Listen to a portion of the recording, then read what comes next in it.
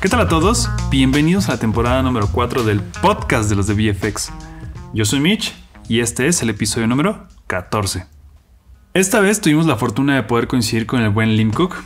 Y para darles un poquito más de contexto sobre el buen Lim, él actualmente se encuentra trabajando como Asset Supervisor en Gizmo Animation Studios.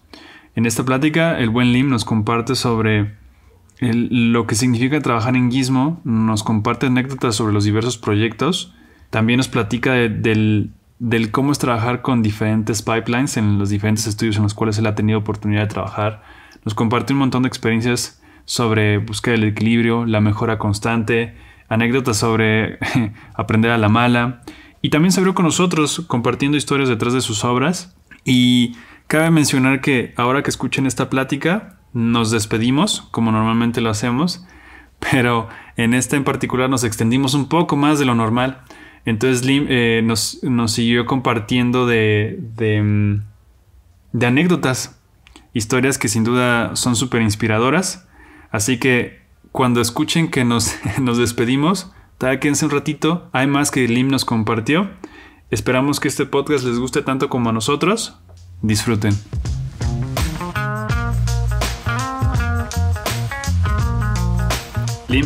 Es, es, un gusto que te hayas dado este tiempo, como lo hemos estado mencionando, y no lo voy a dejar de agradecer. y, y, pues bueno, ¿cómo, ¿cómo estás?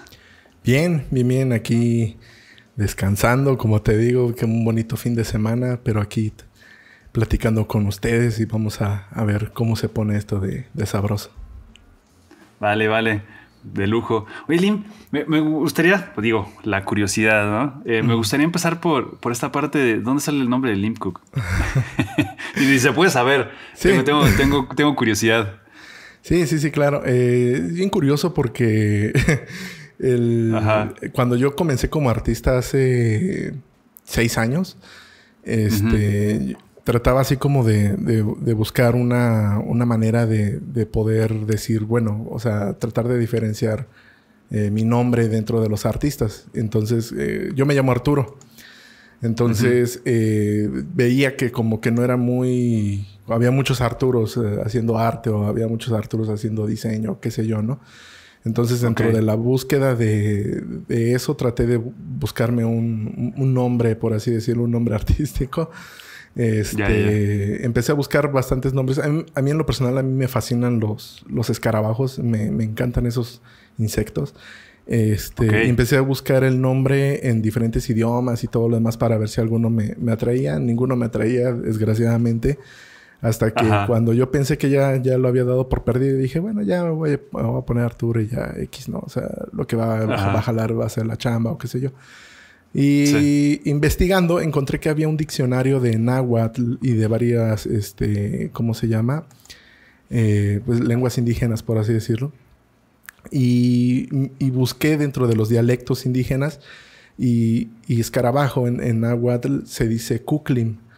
Eh, dije, no, eh, suena, suena medio raro, suena como nombre de un sicario o algo así. y dije, no, eso no, está muy feo. Y eh, así de la nada empecé a hacer juego de palabras con ese. Dije, bueno, y lo invertí. Cooklim, o sea, nada más le invertí Lim, Cook. Y, dije, ah, suena, suena, suena lindo. Y este, empecé a hacer un sondeo dentro de familiares, amigos, cercanos y demás. Y le dije, oye, ¿te, te gusta este nombre? Me dice, sí, es como asiático o algo así. Le dije, no, es este náhuatl, nada más que invertir la, las, las, palabras. Y me dijeron, ah, no, pues se oye bien. Este. Y ya me quedé con eso y pues a, la fecha, de hecho, tengo clientes que piensan que así me llamo. este, o me dicen Lin, o sea, porque piensan que ya es mi nombre. Y, así, ¿no? Yo, me, yo, me llamo así, ¿no? Y me dicen, ah, está bien. Y como tengo este, ascendencia asiática mm, por parte de, la familia de mi mamá, eh, y sí me han dicho, ¿no? Que, ah, tú eres de allá, ¿no? Y yo así, no, soy, soy más, más mexicano que el chileno. sí, sí. Vale, qué buena onda. Este, siempre es interesante como conocer un poquito, porque sí tenía mucha curiosidad y, justo, ¿no? O sea, ya te sientes tan identificado con, con, ese, con ese mote que pues ya es, es como tu nombre, ¿no? Entonces, este, está, está, padre saber el, trasfondo, Lim. Sí, ese, ese, es el trasfondo del escarabajo, por así decirlo. De lujo, está padre. Oye, cuéntame, eh, ¿ahorita estás actualmente en, en Gizmo? Sí, en Gizmo Studio de Argentina. Ok, es que tengo curiosidad. Ahora sí que tú, tú, este, tú, tú introdúcenos a esto. O sea, eh, veo que tu perfil es muy, muy amplio, o sea, o tienes muchas características o, o digamos, pues sí, estás, estás digamos que en varias ramas, ¿no? Y ahora sí que Tú, tú, danos guía en ese sentido, porque eh, eres tanto character como surfacing artist y ahorita actualmente en Gizmo estás como asset supervisor, ¿correcto? Sí, sí, en efecto. Entonces, eh, me gustaría que nos platicaras un poquito. Eh, eh, como sabes, es parte del proyecto del podcast, va muy dirigido a esta, a esta banda. Bueno, para todos, ¿no? Pero queremos hacer énfasis en, la parte que, en la banda que va, va, está en esta industria de alguna forma y queremos darle más información. Entonces, me gustaría, desde tu experiencia, que nos platicaras un poquito de, de esta parte del character surfacing y luego, si nos puedes platicar un poquito de, tu rol como Asset Supervisor y Gizmo. Sí, eh, realmente es bien curioso cómo llegué a, todo esto, porque fue como una evolución por parte de mi carrera, por así decirlo. Porque cuando yo comencé en, esto, yo comencé eh, haciendo concept art.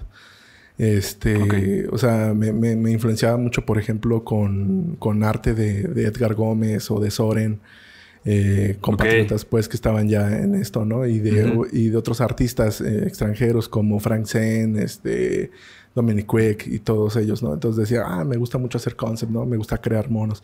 Y los creaba nada más para concept y demás, ¿no? Este... Pero fue poco a poco que los clientes mismos me empezaron a decir, oye, oye Lynn, necesito este el, personaje, pero para producción, o sea, lo puedes bajar. Y yo así como de, híjole, no, no, no puedo.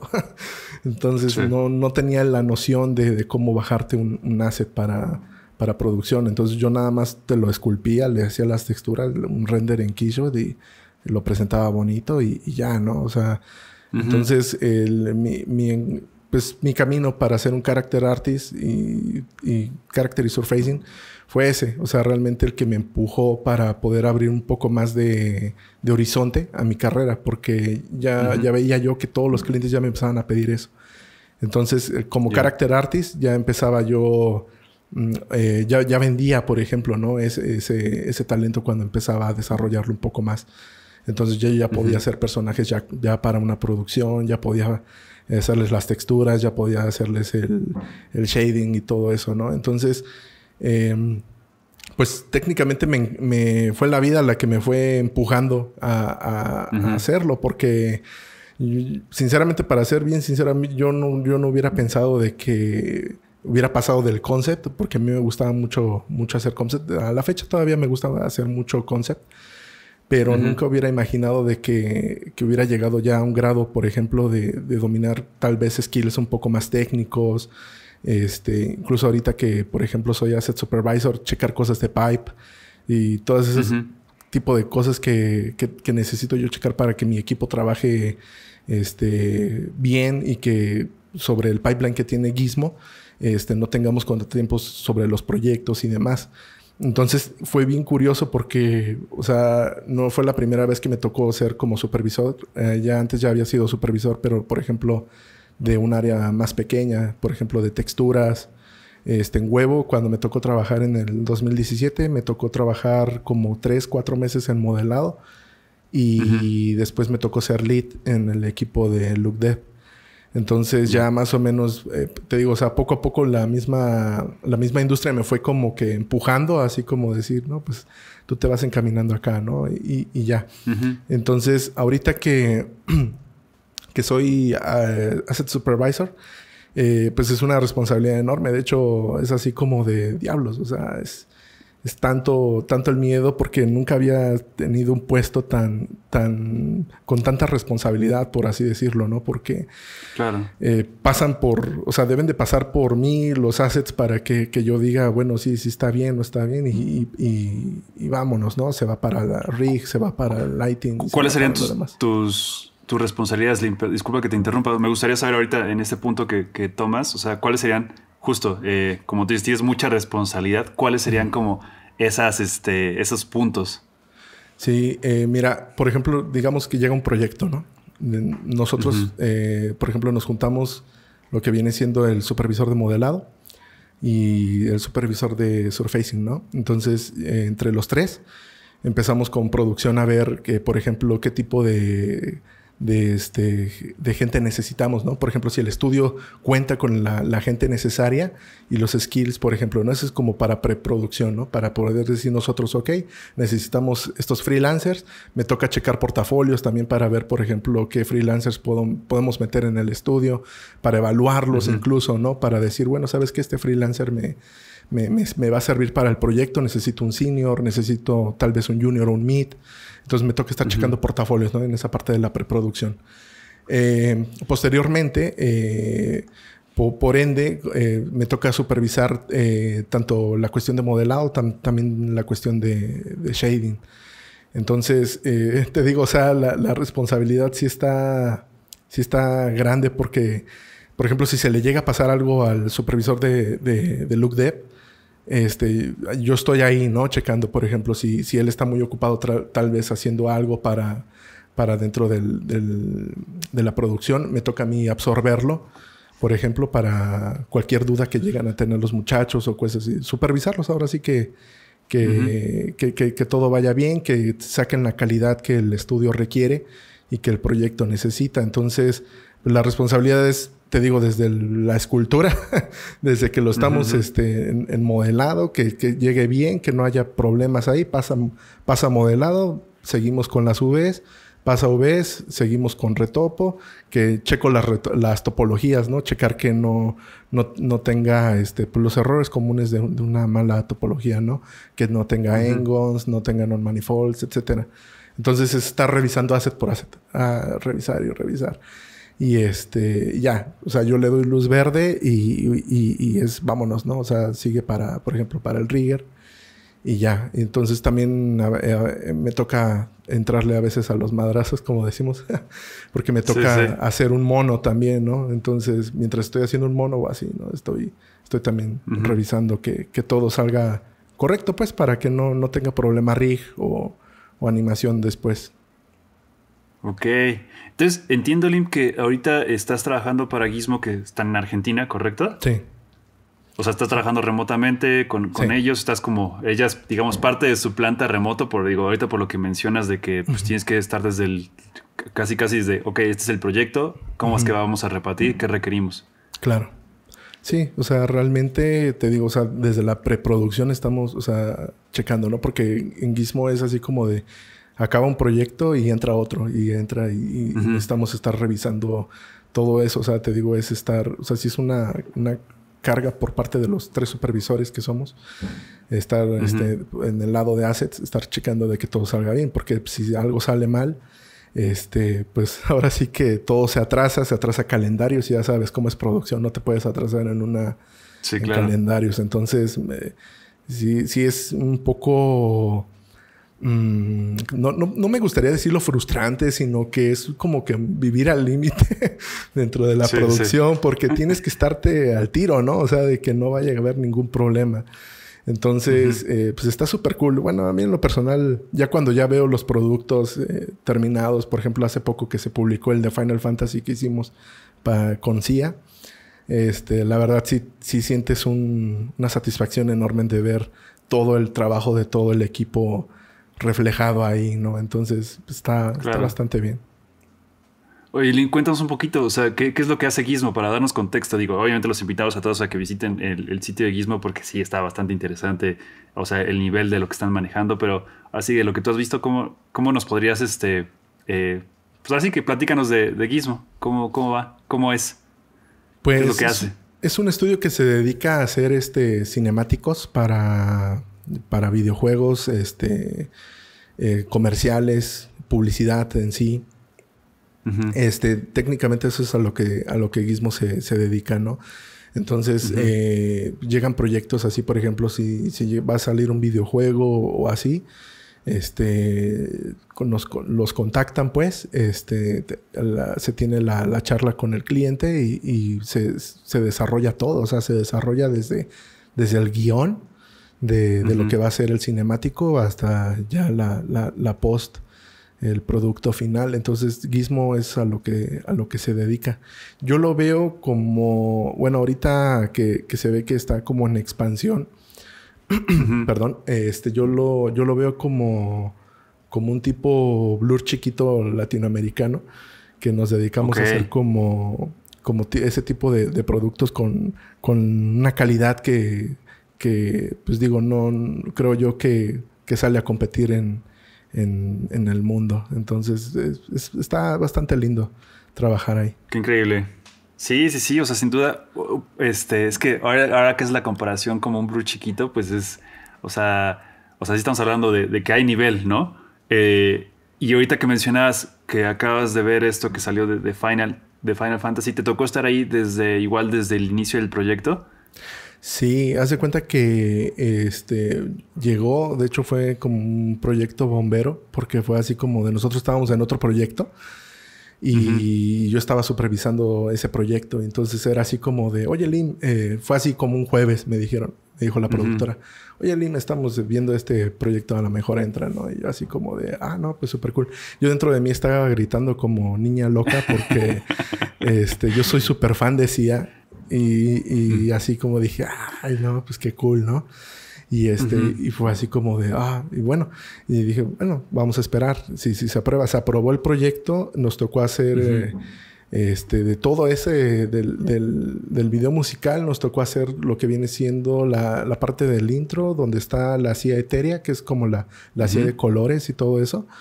Y todo eso lo tuvimos que, la, la también la, la, guerrera, todo ese, bueno, si, si ya lo checan el video, este, todo ese, ese pedazo de, del, del, audio, bueno, del, del, video musical, nos tocó resolverlo, no te miento, creo que fue en un mes.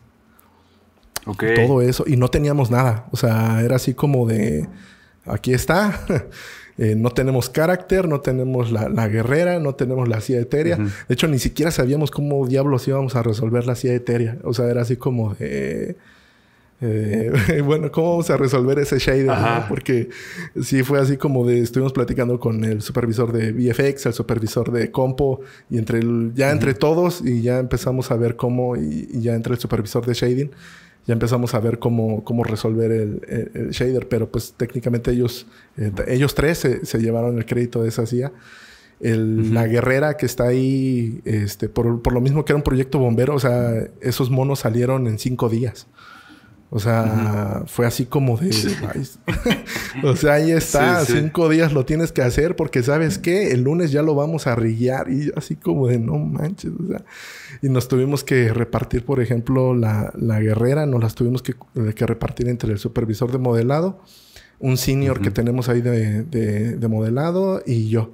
Entonces ahí nos ves a los, a los tres, ¿no? Sabes, a ver, tú agárrate tú agárrate las piernas, tú agárrate esto y yo me agarro esto, ¿no? Tú agárrate los hombros, los brazos, las manos, tú agárrate el pecho, la espalda y así, ¿no? Y ya, y al final, ya cuando ya pasamos el modelado, fue así como de Lin, ya no, o sea, ya los chicos tienen que pasarse al otro proyecto y así como. Y ya me tocó hacer el, surfacing a la guerrera, por ejemplo, desde principio hasta el fin. Ya ahí tuve un poquito más de tiempo, ya fue así como de que, ¿sabes qué? Ahí está tienes cinco días. Y también después ahí me tocó hacer el surfacing del, del diamante. Este. Y ya te digo, o sea, fue un proyecto que, para serte bien sincero, o sea, pero bien sincero, estaba bien escéptico de que llegáramos en el día. Y es que era. Y es que decían, es que sabes que Square Enix no quiere mover la fecha. Y era así como de no manches. O sea, era salir porque teníamos que mandar a render a la granja te puedo asegurar que unos tres días antes o cuatro días antes. O sea, del deadline que ya teníamos, teníamos que quitarle el tiempo de la granja. Entonces, estuvo bien pesado. estuvo sí, no, Había, no, había, como tanto, este, el margen de error era muy poco, ¿no? Pues no, era nulo. Tan, apretado. Sí, no, o sea, literal no podías fallar. Y era así como de no manches. Y te digo, o sea, pasaron muchas cosas en ese proyecto porque al, al final, por ejemplo, la guerrera este, al principio tenía otro tipo de, cabeza. Y, al y ya como dos semanas antes, Square Enix agarró y dijo, no, no me gusta, quiero que le pongan un casco.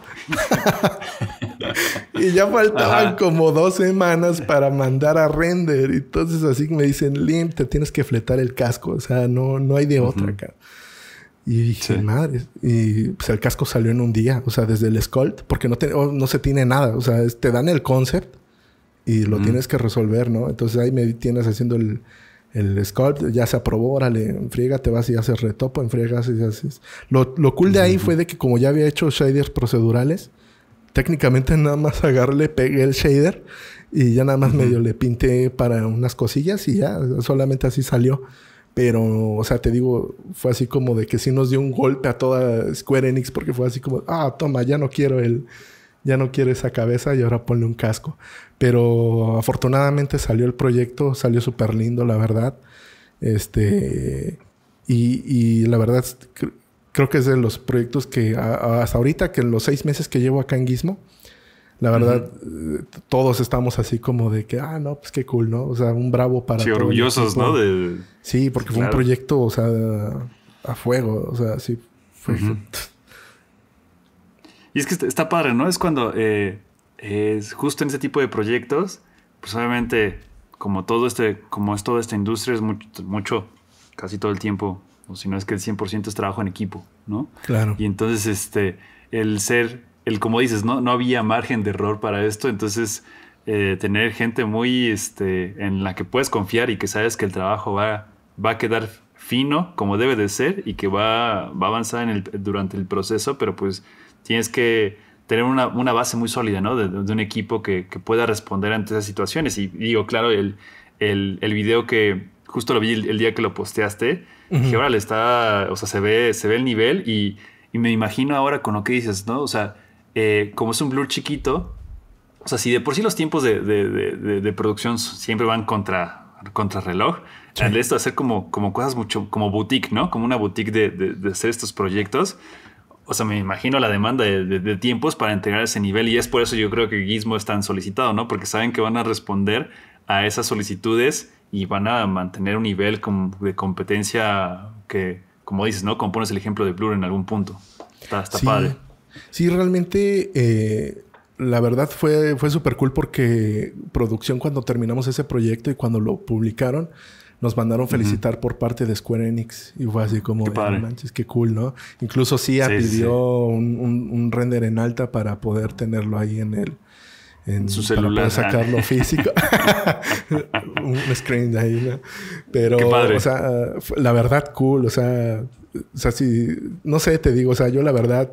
Este, yo estaba soñado porque te digo, o sea, yo soy súper fan de ella y fue así como de no manches, qué cool haber trabajado en un proyecto donde, pues de algo que, tú admiras, ¿no? De realmente. Entonces ver tal vez tu nombre eh, en, el, en, el, proyecto, pues está, se siente súper chido. Y te digo, o sea, realmente una de las ventajas de ellos es de que tienen bastante gente con, con bastante, bastante experiencia. Entonces, yo, para ser bien sincero, para serte bien sincero, aunque fue el segundo proyecto que me tocó supervisar ahí en Gizmo en, estos seis meses, este, para ser bien sincero, cuando a mí me dijeron, Lim, vas a supervisar esto, yo, yo tenía un buen de miedo, o sea, miedo como no te imaginas, porque yo dije, madre. No vamos a salir.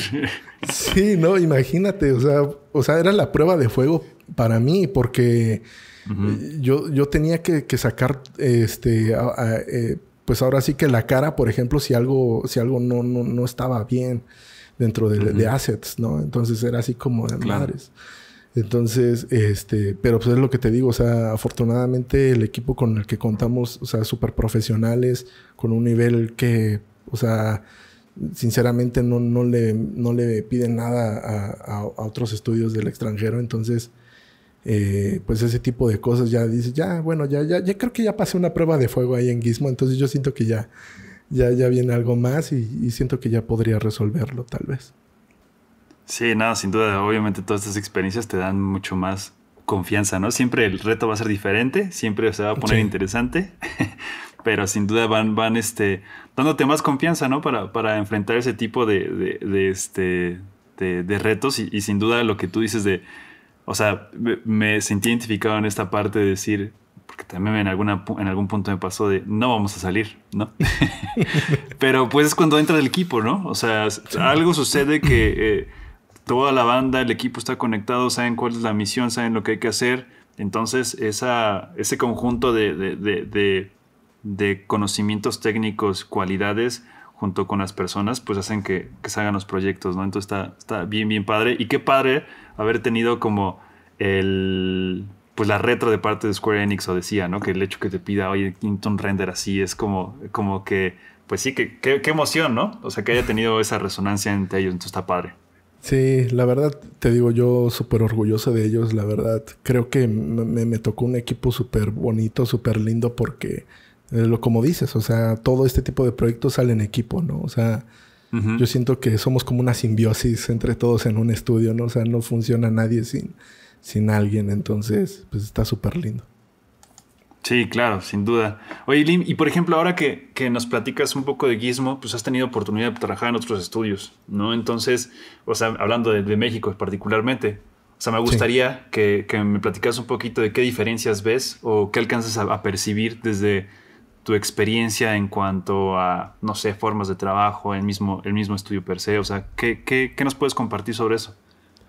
Mira, en, en sí eh, son diferentes pipes, o sea, son diferentes pipelines. O sea, tú sabes que cada estudio puede tener su, su pipeline este que, que, se, que se pues ahora sí que se acopla a, a, lo que las necesidades que ellos tienen.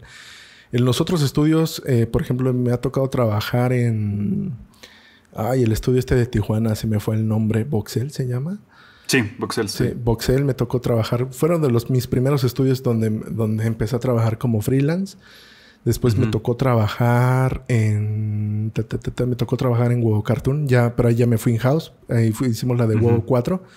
Este. El pipe, te digo, o sea, muy, muy, muy similar. O sea, realmente. O sea, pero acá se, se diferencia bastante porque acá es un pipe de largometraje, ¿no? Entonces este, no, se compara como aquí, ¿no?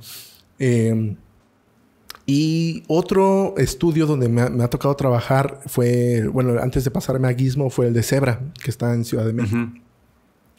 Y ahí estuve en Zebra trabajando, pero nada más fui artista de, de, texturas y también estuve modelando. También, de hecho, me, tocó trabajar con ellos este año para para lo del, ¿cómo se llama? Para un comercial que hicieron de, un, como un tipo cine minuto que, que, publicaron hace como una semana de lo de Liverpool para lo del Bolo Fest. Este, pero sí, o sea, eh, si yo, por ejemplo, eh, pongo Zebra o así, es, es un pipe muy similar porque es, es, es, al fin de cuentas es publicidad. O sea, realmente este, los tiempos son súper cortitos. Y era así, por ejemplo, el del año pasado, el del Bolo Fest, este, fue así como de, oye Lima, hay que hacer estos monos, ¿no? Y, los tiempos también eran bien cortitos, o sea, era, por ejemplo, hacer un elfo, era hacer el elfo con, con o sea, modelado, retopo y texturas en tres, cuatro días, ¿no? Y era así como de mares. O sea, los tiempos están muy similar. O sea, realmente, o sea, la, la, carga es, es así. Y, y, lo chido de, de Zebra este, es de que también tienen un grupo súper profesional y de hecho la mayoría somos, bueno, los, eh, este Gabriel ya me dice que yo ya tengo una rayita ahí de en cebra. Es súper cuate el buen Gabo. Este, y es lo que le dije, o sea, tienes un equipo bastante profesional porque realmente, o sea, te sabe resolver el, el, el, rollo, ¿no? Porque incluso, por ejemplo, el Bolofest del año pasado también fue así como de, ¿sabes qué? Está el proyecto tiene que salir en diciembre y es septiembre, cabrón. Sí, Entonces, los tiempos eran súper cortitos, ¿no? Y, la verdad, o sea, hicieron para haber hecho un programa como de una hora, creo que fue una hora y cacho el Bolo Fest. O sea, sí fue, estuvo pesadísimo, ¿eh? O sea... un montón de artistas involucrados ahí y, sí, sí, metieron, Bolofest. Sí, metieron bastante gente, pero salió el proyecto, ¿no? Y ya en este, por ejemplo, el de este año, eh, este, también estuvo muy lindo. Ya, ya no le pude entrar al Bolofest, pero le entré, te digo que al, Cine Minuto. Este, pero igual, o sea, los, los tiempos son muy, muy, muy, muy similares.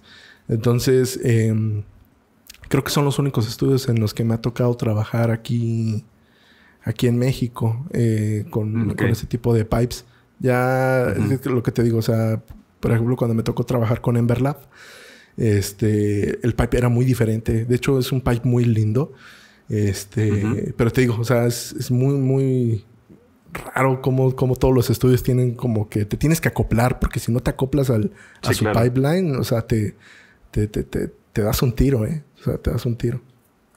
Sí, y luego se vuelven este, tan, tan complicados, ¿no? O sea, tal vez conoces la, la, este, tu tarea, lo que hay que hacer, pero es importante conocer lo que hay alrededor, ¿no? Aunque no lo hagas, pero sabes que eh, tener un panorama general de cómo se mueve todo, ¿no? Y, justo ahorita que mencionas eso, me, platicaba un amigo este, que se pasó de, de, de MPC a Framestore, me dice, pues, o sea, los compuestos, ahí van. El rollo ahorita es entender el pipeline, ¿no? Que o sea, ahorita lo que tú dices es como eh, es esa parte de, sí entenderlo, porque de repente entre más grande, pues mucho más complejos, ¿no? Y hay más pasos y más procesos. En esencia sigue siendo lo mismo, como tú dices, ¿no? Y ahorita como nos platicas que hay similitudes y también depende del tipo de, proyectos o, el enfoque que tengan. Pero pues sí hay que, hay que entenderlos porque pues es este, saber cómo vas a recibir material, cómo vas a entregar, qué va, quién te da, quién, cómo entregas, ¿no? Sí, realmente es eso. Te digo, o sea, por ejemplo, cuando me, te digo, o sea, pongo el ejemplo de, de Emberlab, porque Emberlab, cuando me tocó trabajar con ellos hace como cuatro años, fue, fue algo muy similar. Fue algo así como de, Lim, necesitamos este mono completo y técnicamente tú, o sea, no tienes supervisor, ¿sabes? O sea, era así como de que tú lo, tú lo checas. O sea, los únicos supervisores que te decía, Simón, sí, sí, sí está cool, está conforme el modelo, el concept era, eran los, los directores, que es este Mike y Josh, este, que son los dueños de, de, de Emberlab. Entonces fue así como de, ah, no, pues cool. Y te digo, o sea, creo que, que, lo cool de, de, que, por ejemplo, estudios extranjeros vean a los latinos es, también está súper chido porque creo que ven de que el talento existe. O sea, simplemente no sé por qué o sea, tan pegados de Estados Unidos y Canadá, o sea, hay veces sí, te preguntan, ¿no? O sea, yo a veces de, otros tipos de clientes del gabacho o así, sí me dicen, ¿no? Oye, ¿por qué México no, no explota, ¿no? Así como en el boom, como los, como los hindús, ¿no? Y así como, no tengo la menor idea. Me acuerdo mucho de, las palabras de, Josh, de, de que me dijo, este, ah, nosotros hemos trabajado con otro mexicano, se llama Carlos Ortega. ¿Lo conoces? Y le digo, ah, sí, sí, sí, conozco al, buen Carlitos. Y este, y me dice, no, es que los mexicanos están, están en otro nivel, dice, están en otro nivel los mexicanos y deberían de, de, de, de esforzarse para, para tener una industria más, más pesada. Y es algo que no comprendo, ¿sabes? O sea, Creo que se trata de hacer, sí, sí se trata de hacer. Por ejemplo, Huevo haciendo las películas, o por ejemplo, Mighty este, haciendo lo, lo, que hace allá en Guadalajara. Este, O por ejemplo, Lin, que está allá en, Ciudad de México también haciendo su, su chamba. Pero eh, no sé, pero es plática que hemos tenido entre varios colegas de la industria de aquí de México, así como ya sabes, ¿no?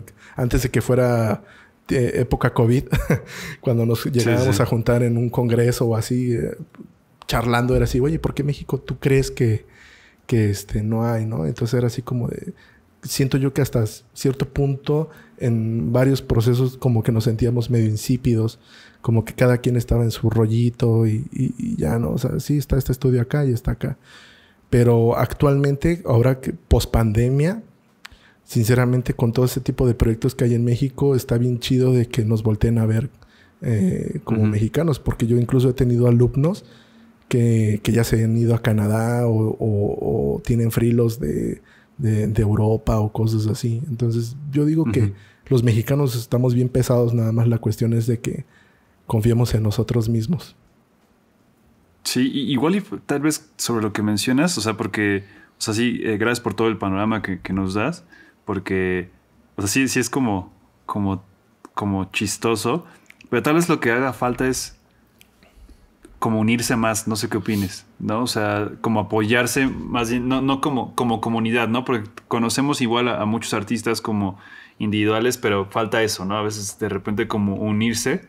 Eh, Y, pues bueno, es parte de los, de, de, alguna forma es una de las intenciones que tenemos con este proyecto, ¿no? Tratar de, pues no, no es de general, pero sino de ayudar a que pues la, la, banda pues eh, pueda como um, saber que existen, ¿no? Porque, o que existimos, o, o, todo este talento con el que tenemos oportunidad de platicar, y pues sepan que se pueden acercar a esas personas, ¿no? Que ya recorrieron un camino y puedan ayudarles en ese proceso. Y, creo que es algo de lo que mucho lo que tú haces. Sí, realmente, mm, fíjate que a mí, a mí me gusta mucho ayudar a la gente.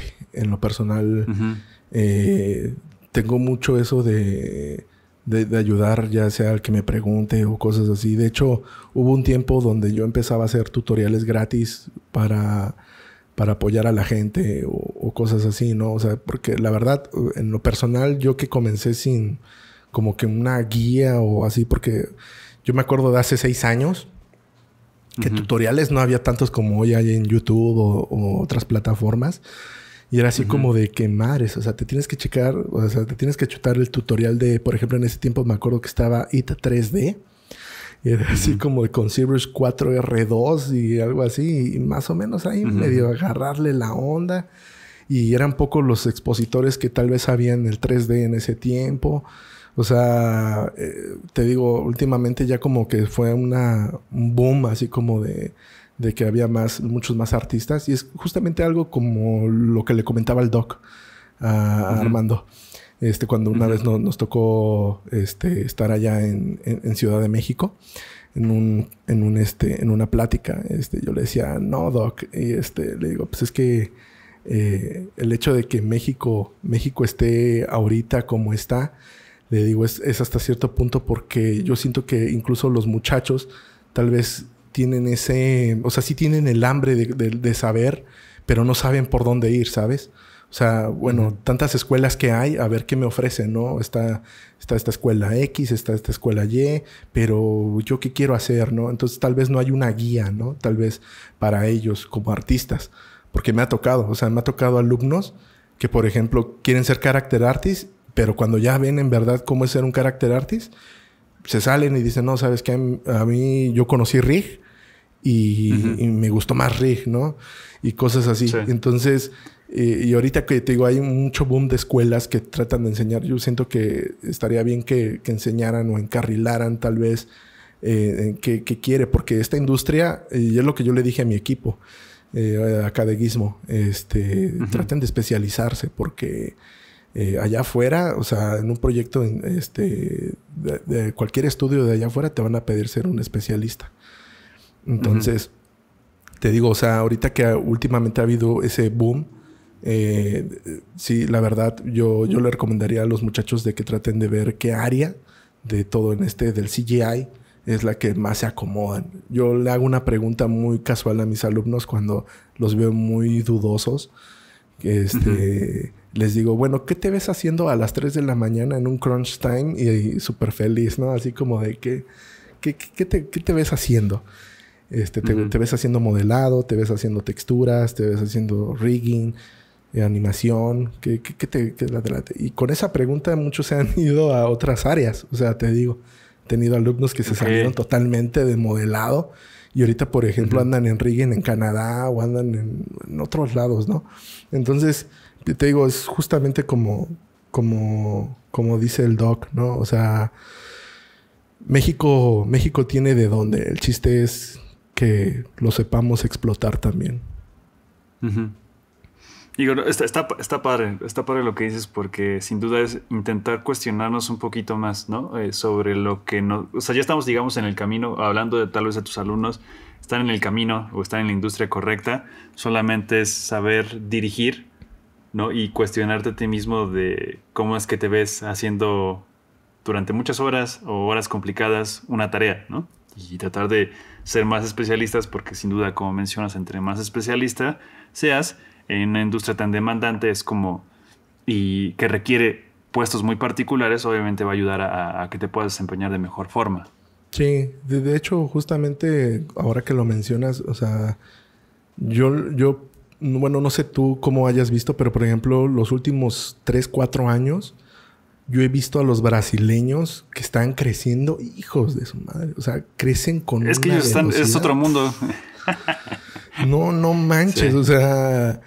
Y te lo digo porque, por ejemplo, cuando me tocó ir a Colombia eh, a una conferencia en el 2018, creo, este, los colombianos nos me, decían, me decían, no, es que ustedes están pegados a, al gabacho, este, ustedes, los proyectos son películas y todo ese rollo, ¿no? Y, o sea, debería, ¿no? Y así como de, no, la mayor parte se la mandan a la India. o sea, todo lo que es la, la, talacha se la mandan a la India. Y incluso es bien, es bien curioso porque incluso con marcas nacionales, o sea, había proyectos que se los mandaban, por ejemplo, a NPC o así. Entonces tú te quedas así como de, o sea, es bachoco. cuando aquí te lo puede tal vez resolver un artista eh, o un estudio, por ejemplo, este, se lo mandaste a NPC Londres, ¿no? Y entonces dices, bueno, o sea, ¿qué está pasando, no? O sea, ¿qué, qué, sucede como para que, por ejemplo, Bachoco haya mandado a hacer su gallinita a, a NPC Londres y no se la haya dado, por ejemplo, a, a Olin o, a otro estudio, ¿no? Pero yo siento que falta más eh, hacer estudios como AAA, por ejemplo, ¿no? En este caso. Porque, por ejemplo, si te das cuenta, o sea, mencióname otro estudio que no sea All-In, que haga AAA o, o ese tipo de cosas. Por ejemplo, Huevo hace, hace cartoon, o sea, es totalmente cartoon. Mighty se dedica a hacer proyectos también estilizados. Eh, Voxel también se dedica a hacer estilizados, pero también hace, este, creo que, si no, si no estoy mal de información, también hacen proyectos para, para series de allá. Sí, eh, ¿Quién más? CGBot bot hace proyectos también incluso para, para el extranjero. Pero si te das cuenta, no hay como que un estudio como NPC, ¿no? Por ejemplo. O sea, no hay más. Bien lo decía, bien lo decía el doc, ahora que lo citabas hace ratito, también nos, nos, nos comentaba en algún punto que pues hacía falta más competencia de ese nivel de estudios, ¿no? O sea, como tú lo acabas de decir bien. O sea, ese, esos estudios AAA, falta competencia también porque pues, siendo ellos de alguna forma los de mayor representación, pues tampoco hay así como que, eh, pues falta esa competencia también que ayuda, ¿no? Oye, esto están haciendo esto por acá, esto por acá, esto por acá, esto por acá, y obviamente hace que todos crezcan, ¿no? Porque pues, está esa competencia que es saludable, ¿no? Entonces, este, sí, sí hace falta eso, pero pues, digo, quienes hayan tenido o quienes tienen una, empresa dedicada a eso saben lo complicado que es, ¿no? Jalarte los proyectos, que te lleguen. Entonces, este, es todo, todo, todo, un rollo. pero digo, sin duda tienes, tienes mucha razón en lo que dices. Y nada, haciendo como la nota sobre los brasileños, yo este, digo, yo vengo más de la, junto con Abraham, venimos más de la parte de live action. Y bueno, mi formación particularmente fue en el mundo de la televisión en broadcast. Y entonces esos brasileños, en cuanto a, o sea, es hasta cierto punto, de repente son como hasta cerrados, obviamente por el, desde su mismo horario hasta el idioma algunas veces, no hace que, sí es Latinoamérica, pero pues se vuelven como un, una sección un poquito aparte, pero la cantidad de cosas que producen eh, es, es, inmensa. Y no, no, te estoy hablando de la parte, digamos, de la animación o todo eso, sino a nivel televisión. O sea, la cantidad de... Ellos tenían algo así como un departamento de VFX hablando en televisión como de tal vez unas 200 personas. O sea, como un estudio grande, que, pero que se dedica solamente a postproducción de, tel, de pues de televisión, ¿no? O sea, no, no, no, no estamos hablando de películas, no estamos hablando de, de, ese tipo de proyectos, ¿no? Entonces, o sea, a, lo que voy es la magnitud de lo que producen y la cantidad de gente que tienen para producir esos contenidos. Y esto lo, lo, llevo también a, lo que tú mencionas, ¿no? O sea, a todo lo que están produciendo, ya sea en el mundo de la animación, este, películas, pero todo es como muy, muy local, ¿no? Obviamente hay trabajo por fuera, pero, o sea, como que su industria está muy fuerte eh, internamente. Sí está. sí, sí, es, algo que apuntar o algo que estar poniendo atención de por, o sea, por qué, digamos, está viendo ese crecimiento internamente en cuanto a esa industria tan particular que es el media entertainment en Brasil y se mantiene solita, ¿no? O sea, como casi casi con las cosas que están generando, ¿no? Tal vez lo que tú ponías como ejemplo, ¿no? Tal vez eh, las empresas como Subachoco confían más en sus empresas internas que mandarlo a otro lado, ¿no? Sí, no, y es lo que dices, o sea, creo que ellos tienen, como dices, ¿no? una, una unificación muy, muy fuerte que digo, o sea, acá creo que sí se está empezando a, retomar, pero no sé, en, en, lo personal, si yo te hablo, por ejemplo, de mi experiencia aquí en México, con, como artista, o sea, como artista, cuando yo comencé, yo recibía un chingo de hate. O sea, y, mal feedback. O sea, creo que yo ni siquiera lo podría considerar feedback. Y eso pasa a la fecha con varios artistas nuevos también. O sea, em, en lo personal, por ejemplo, cuando yo comenzaba, yo, yo recuerdo que yo comenzaba a esculpir con mouse. Y publicaba en los grupos que tú ya conoces cuáles hay en Facebook que son nacionales.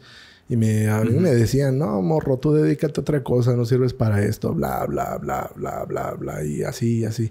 Y ves a otro chavo que también publica su arte y no, no, tú no sirves, blum, blum, y puro hate. Y dices, madres, o sea, está, está medio pesado este rollo. Y, decías, bueno, y, ya fue, te digo, o sea, dentro de lo, de lo personal, este, tal vez por eso me fui alejando un poquito de la industria local porque sinceramente yo recibía mm, feedback de mejor manera de los, por parte de grupos extranjeros. O sea, donde totalmente la lengua era, era inglés, ¿no? O sea, grupos como el de Pixologic o grupos como el de 10,000. Yo me acuerdo mucho de, un cuate que en ese tiempo me le pegué mucho porque me dio feedback y, fue, fue, fue, artista de, de Ubisoft que me dijo, eres muy bueno, dice, tú, tú tienes buen ojo para, para la composición y demás. Dice, nada más lo único que necesitas es practicar más anatomía, practicar más esto y demás, ¿no? Entonces, dices, bueno, ese es el tipo de feedback que tal vez un, un, artista, un artista nacional requiere, ¿no? Pero si te pones a pensar, o sea, yo me, en lo personal, yo ya me he salido de varios grupos de aquí, de México, porque eh, yo he visto incluso con muchachos, o sea, que por ejemplo hace, hace, hace ya rato me tocó también ver uno de un muchacho que publicó un, Stitch y en un grupo y lo hicieron, lo hicieron papilla, o sea, fue así como de, o sea, pinche mono culero y que, esto y así, dices, güey, o sea, no manches, o sea, el morro te está pidiendo un feedback totalmente así. Y, yo la verdad, yo sí, a mí me da, no sé, eh, mucha como, no rabia, tristeza tal vez, de que haya banda que sea muy, muy así, ¿sabes? O sea... Sí, como que no hay eh, necesidad de llegar a ese punto, ¿no? Sí, sí, por sí cuando estás ah, en arrancando la industria es a veces como complicado exponer tus primeros trabajos porque pues, es exponerte. Digo, es obviamente es algo que la industria pide porque pues, es una industria visual y es muy... Se, se nota por todos lados, pero sin duda el justo para esos, primer, esos primeros acercamientos donde tú dices, este es mi trabajo, o sea, y te acercas a un grupo pensando que, que este, te van a dar un feedback porque se supone que hay gente en teoría que este, está dedicada a esto y te puede eh, ayudar a crecer. Enriquecer, exacto, ¿no? Y entonces para recibir eso pues está, está, está feo, ¿no? Obviamente... Eh, también eso te, te, hace, te hace la piel dura, ¿no? Sí. pero, pues, no. pero no hay necesidad también como de llegar a, esos puntos. Sí, o sea, justamente como lo comentas, o sea, realmente yo siento que, eh, o sea, te digo, últimamente creo que se ha cambiado mucho todo eso. Por ejemplo, en el grupo de Juan, creo que es el único grupo, creo que en el que estoy, en el del robot. Este, Juan, si te has dado cuenta, Juan trata como de regularizar mucho eso, ¿sabes? O sea, es así como si no es un feedback puntual o si es puro hate, mejor vámonos para afuera. Entonces, creo que eso está cool porque digo, o sea, yo hasta, hasta cierto punto pienso que la tolerancia eh, se, convierte, se, convierte en bullying, ¿no? O sea, dependiendo de cómo, cómo, tú lo veas, ¿no? Entonces, te digo, o sea, y pasa, por ejemplo, también con productos audiovisuales, o sea, nacionales. O sea, tú ves y, por ejemplo, cuando salió la de huevo, la en donde nosotros trabajamos, fue así como de, ah, o sea, tú ves los youtubers estos que, que, están ahí o güeyes que están en la industria y tienen un canal de YouTube y hacen reseñas o, cosas así, o en los mismos grupos, ¿no? Así, ah, otra pinche película de huevos, ¿no? Y, ay, estos, güey, y dices, dices, dude, o sea, eh, es un estudio que, pues, o sea, literal está, está tratando de, de enriquecer, tal vez, o sea, con sus propios guiones y lo que tú quieras pero creo que no, no, no, no, meten en la cabeza el hecho de que es bien difícil tener un estudio y sacar una película. O sea, Y, la neta es bien triste, así como que dices, ah, no, yo vi en otra película de, huevos, ¿no? O sea, y, una, y una propiedad intelectual, ¿no? Que es complicada también, que este, pues no estás hablando con alguien, con personajes previamente conocidos, ¿no? O tan fuertemente conocidos, ¿no? Entonces, obviamente tiene todo, todo, todo su valor y sí, solemos a veces ser así como medio... Eh, menospreciamos el, ese esfuerzo, ¿no? Como lo acabas de mencionar. Sí, ¿no? Y por ejemplo, si yo pongo el ejemplo de huevo de esta película a la anterior, o sea, compas que estuvieron trabajando en la anterior, en la 3, en la de Un gallo con muchos huevos, y que pasaron ahorita la de este huevitos, eh, ¿cómo se llama la última? Creo que un este, rescate de huevitos. Un rescate de huevitos. Es que le habían cambiado el nombre, antes se llamaba Huevitos en Fuga. Este. le, eh, ¿cómo se llama? Te dice, ¿no? O sea, por ejemplo, ellos en la, en la, en la del gallo no tenían, no tenían departamento de look dev. Entonces era así como de que los de lighting estaba, estaban haciendo el look dev. o sea, estaban haciendo materiales, texturas y estaban haciendo el, el, lighting al, al, mismo tiempo, ¿no? Y por ejemplo, fue algo que, por ejemplo, el estudio reconoció y dijo, ok, quiero mayor calidad en mi siguiente película necesito tener un departamento de look dev, ¿no?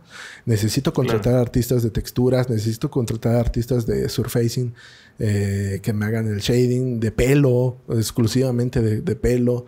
Entonces, este, estuvo chido porque el departamento de look dev eh, se dividió así, o sea, se dividió entre los que hacíamos texturas y shading, los que hacían nada más texturas, los que hacían nada más puros pelos y plumas y demás.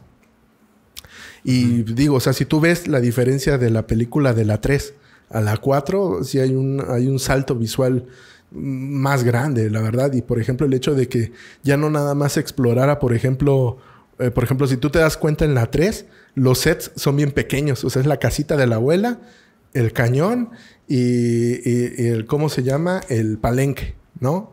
Y por ejemplo, ahorita en la 4 fue, fue así como decía, estaba la granja este, pero después tienes un avión que es un environment literal, tienes un carro que también es otro environment, tienes el exterior de África, tienes este, una, un, salón gigante, tienes selva, o sea, te, digo, o sea, realmente tratas de avanzar, ¿no? Y de hecho ahorita con la que la de huevo 5, la que va a salir, este, la del gallo congelado, este, esa no me tocó trabajar, pero, o sea, yo obviamente estuve cuando se estaba haciendo, este, y demás, y está más pesada todavía. Entonces, es lo que te comento, o sea, tratas de mejorar la industria, ¿no? O sea, tratas de ver cómo puede mejorar sea el proyecto que sea.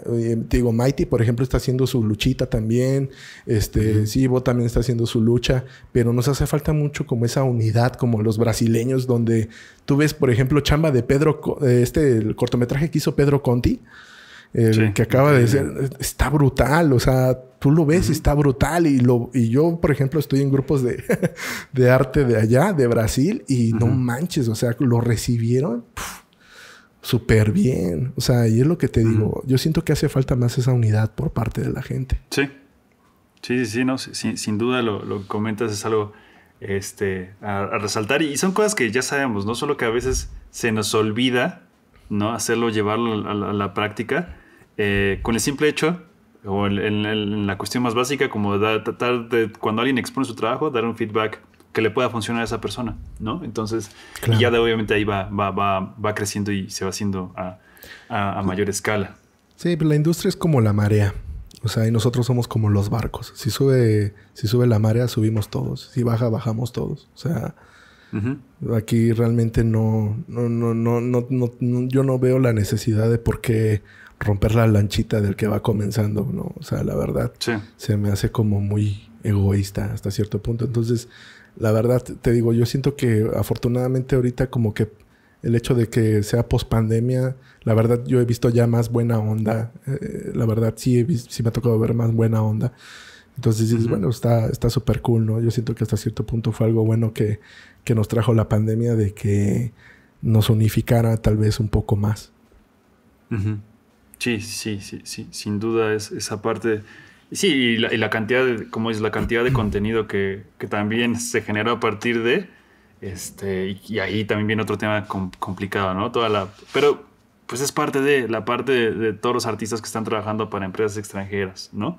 Este, eh, que es, bueno, ese es otro tema, me refiero pues a esta parte que decimos, ¿no? De la fuga de talento, pero pues obviamente ya ahorita platicamos un poquito de que también hace falta, este, eh, estudios más competitivos, ¿no? O estudios que puedan estar a cierto nivel para que también la banda se motive a ir ahí. Y pues bueno, vienen otros temas que eh, falta mucho eh, para tal vez poder competir.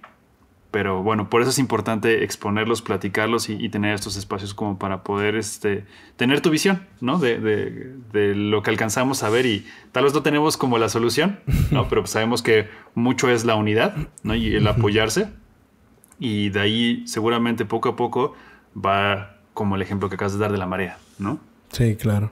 Sí, es justamente eso, realmente.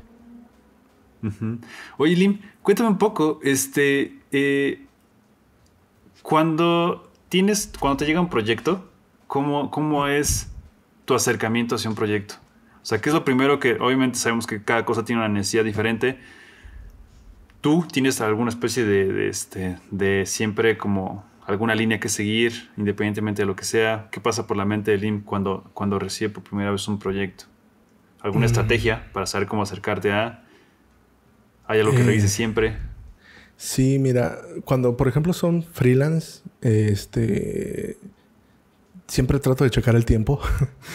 siempre, siempre, siempre. O sea, tengo un cliente que ya tengo de años. Eh, técnicamente ya cuatro años ya llevo con ellos y con ellos he trabajado marcas bastante buenas. Este, la última con la que trabajé con ellos es este Godzilla.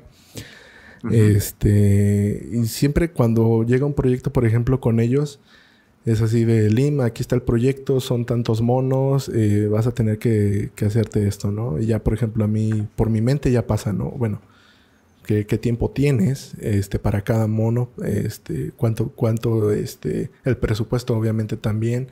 Yo sé, ellos ya saben obviamente los rates que en, los que yo me ando yendo y obviamente también la complejidad de cada asset pues también eh, varía, ¿no? y obviamente, por ejemplo, si yo voy a necesitar, eh, por ejemplo, no sé si, si estoy yo trabajando acá, este, en el estudio, pero yo sé que esto va a ser freelance, o sea, lo voy a tener que tomar después de mi tiempo de, del estudio. Entonces, si se me hace muy pesado para mí solo, yo ver si puedo contratar a, uno que otro amigo para que me, me ayude a, resolverlo, ¿no? Y este, o sea, todo ese tipo de cosas pasan, o sea, realmente eh, siempre cuando llega un proyecto de lo que sea, o sea, eh, ya sea con ellos o por ejemplo cuando es un cortometraje que también me dicen, Lim, tienes que hacer eh, este, esta criatura, ¿no? O sea, tienes que hacerla de pies a cabeza. Y yo, bueno, ¿cuánto tiempo tienes? Eh, pasa todo, o sea, te digo, saber de que, por ejemplo, si ellos me dicen, Lim, tienes 15 días, ¿cómo ves? Y yo decirles, bueno, ¿crees poderme darme, o sea, dos semanas y media tal vez para poderte yo entregar bien? Y siempre trato, eh, digo, esto es algo que la verdad yo le recomiendo mucho a la gente porque a veces mucha gente se queda como, como por ejemplo con lo que le dice el cliente, ¿sabes? Así como de, oye, tienes una semana para hacer el modelado, una semana para hacer las texturas y demás, ¿no? Y, y a veces la gente tal vez, a veces no llega a calcular bien y tiene que trabajar en, este, en la madrugada o cosas así. Y la neta, por ejemplo, si estás trabajando in-house o, remoto en tu estudio o demás, pues eso también te parte, pues te parte el alma porque, o sea, ya llegas cansado, no llegas, o sea, con, o sea, tienes que contar también qué tan sano es para ti si puedes tomar ese trabajo, porque y es, es, como me decía el doc. O sea, creo que de las pláticas más cooles que yo he tenido, creo que ha sido con el doc. Que el doc es sabiduría, ¿sabes? O sea, ya tiene un camino enorme y, y, él te sabe aconsejar. Te, hace, te hace pensar también, ¿no? Como reflexionar sobre lo que está pasando. Sí, y es, y es lo que yo, yo me acuerdo que yo le, cuando lo vi, te digo que le dije, doc, te ves más joven. Y me dice, ah, sí, es que ya llevo otro tipo de vida y cosas así, ¿no? Y una de las cosas que él me, me comentó es de que necesitas tener un equilibrio, ¿no? O sea, en, mi caso, por ejemplo, yo tengo que encontrar un equilibrio con mi familia, con el trabajo y, por ejemplo, si llega un freelance, saber si lo puedo tomar o no y qué, conviene más para mí. O sea, si, si me conviene más tomarlo, este, y sabiendo de que, por ejemplo, no sé, es una marca que tal vez a mí me hubiera gustado mucho trabajar desde hace ya mucho o, simplemente no puedo tomarlo porque, no sé, en el estudio va a haber mucho, mucha carga de trabajo y el estrés está eh, al 100 y yo sé que no voy a poder con el freelance. Entonces ahí es cuando, por ejemplo, me toca recomendar a un amigo, este, o cositas así, porque te digo, o sea, la salud es, o sea, sin salud no, no tienes nada, o sea, yo siento que eres como un auto, ¿no? O sea, siempre vete como un auto deportivo, o sea, tu cuerpo es un auto deportivo y tienes que darle el mantenimiento necesario, ¿no? Entonces el hecho de que comas bien, el hecho de que, por ejemplo, te des tus descansos también entre la jornada y cosas así, todo eso lo tienes que ver. O sea, tal vez incluso, te lo digo porque a mí me pasó, o sea, me, me, me, pasó horrible cuando yo estaba en huevo, porque como yo me fui a Querétaro, me fui sin mi familia, este, mi familia se quedó aquí en, en Morelia. Este y era así como de madres, o sea, pues ya tengo más tiempo para practicar tal vez o agarrar más freelance, ¿no? Tal vez para, para poder jalar más, más chambita. Pero, o sea, te digo, yo salía del estudio a las cinco y media, llegaba al departamento a las seis y era así como de hacer el freelance y tardarme ahí hasta las dos, tres de la mañana y otra vez ir al estudio a las siete y media, me tenía que levantar para poder ir al estudio. Entonces llegó un tiempo donde en lo personal ya no daba. Ya no daba. Ya estaba muy cansado, ya estaba eh, harto incluso cuando yo decía madres, o sea, esto no debería de estar sucediendo, o sea, lo debo de estar, debo de estar este, bien conmigo mismo para, para, para eso, ¿no? Entonces fue cuando empecé a declinar chamba, o sea, fue así como de, ¿sabes qué? No puedo, te dejo, te, te recomiendo a un amigo, te recomiendo a este artista, te recomiendo etcétera, pero yo ya no puedo jalar trabajo. Y de hecho, en ese año que estuve allá en Huevo Cartoon, en ese año cachito, este, me enfermé, o sea, me enfermé bien machín de... Se me subió el ácido úrico. el cuerpo se las cobra, ¿no? Te llega de alguna forma esa, esa demanda que le metiste, te, la, te, pasa factura. Sí, no, o sea, te digo, yo me, me enfermé bien machín del ácido úrico. Me enfermé, o sea, literal, bueno, ahorita ya tiene un año que ya estoy controlado, eh, un poquito más de un año, eh, pero yo tenía hiperucemia, o sea, literal era un paso nada más antes de tener gota, o sea, y fue en ese año que fue estuve en huevo, o sea, porque comía mal, este, no desayunaba bien, eh, literal agarraba y comía lo que veía o, o podía hacer rápido y no era saludable, etcétera, ¿no? Entonces se me subieron los triglicéridos, se me subió, este, también se me subió el azúcar. Y fue cuando me vine acá a Morelia y, este, y me dice, porque te da un dolor en el dedo cuando tienes el ácido úrico muy alto. Sí. Y no puedes caminar. De hecho, o sea, el, mi roomie, que ahorita es director de arte en Mighty, este, que es este, mi tocayo, Arti, eh, a él le tocaba ver, o sea, que nos íbamos o sea, el, estudio estaba como a un kilómetro caminando del departamento, pero, o sea, literal, eran días donde yo me levantaba con un dolor del infierno por el dolor, no podía ni pisar, o sea, literal, no me podía pasar la, la, la, la sábana arriba del dedo porque me dolía horrible. Y, tenía que ir al estudio, o sea, tenía que ir al estudio a chambear, o sea, no era así como de, ah, no voy a ir a trabajar, o sea, era así como de, tienes que ir a chambear. te digo, o sea, fue ahí cuando me di cuenta de que dije, bueno, o sea, quiero vivirle más tiempo a mis hijos, quiero, bueno, en ese tiempo nada más tenía a mi, a mi niño más grande, este, dije, quiero vivirle lo suficiente a él o, o qué quiero, ¿no? ¿Qué quiero de mi vida? Sí. Entonces es cuando agarras y das un pop, haces un flip y, este, y dices, bueno, ya voy a tratar de, cuidarme más, voy a tratar de hacer un poco de ejercicio, voy a tratar, si te digo, y a veces como artista cuando vas empezando incluso, se son cosas que se te olvidan. O sea, ya cuando ves, y, pasa, o sea, no estás chambeando y dices, madres, no he tomado agua y ya pasaron tres horas, ¿no? Entonces, digo, son cosas que, tal vez todos deberíamos de, comenzar a ver, porque sí, o sea, como te, te digo, o sea, sin salud, no, ¿de qué te sirven los éxitos? Sí, no, completamente de acuerdo con esa parte. Y, digo, es mucho también de lo que hacemos énfasis. Gracias por tomar este, puntos en eso, porque tal vez es, a veces es complicado, ¿no? Eh, cuando eres, cuando lleva, eres relativamente nuevo, ¿no? O no necesariamente, pero siempre a veces como solemos dar mucho por los proyectos, ¿no? O queremos llenarnos como de, de, de experiencia, pero a costa de qué, ¿no? Entonces, a veces suena a veces como complicado, oye, pues no quieras como como llenarte de todo esto, ¿no? Encuentra el balance, que es en lo que haces énfasis, ¿no? Porque a veces, o sea, lo que ves es que no hay que llegar a un punto así, pero a veces, muchas veces te lo tiene que dar la experiencia o tienes que pasar por una situación así como para decir, oye, esto no está funcionando, si yo quiero justo hacer esa, recapacitar sobre lo que está pasando, ¿no? Si yo quiero durar mucho más tiempo, pues obviamente hay que, este, hay que cuidar el cuerpo, ¿no? Hay que cuidar el, el motor para poder seguirle dando, ¿no? Porque sí solemos a veces apasionarnos mucho con lo que hacemos y olvidarnos un poco de nosotros. Sí, no, y hace poco, por ejemplo, eh, te pongo el ejemplo que estaba platicando yo con, con mi CG Supervisor acá en, en Gizmo. Este, y una de las cosas que estábamos platicando, porque él sí me dijo, Lim, este, te, he, notado medio cansado y así, ¿no? ¿Qué pasa? Ya le empecé a platicar, ¿no? De que obviamente eres todo tipo de proyectos y cosas así.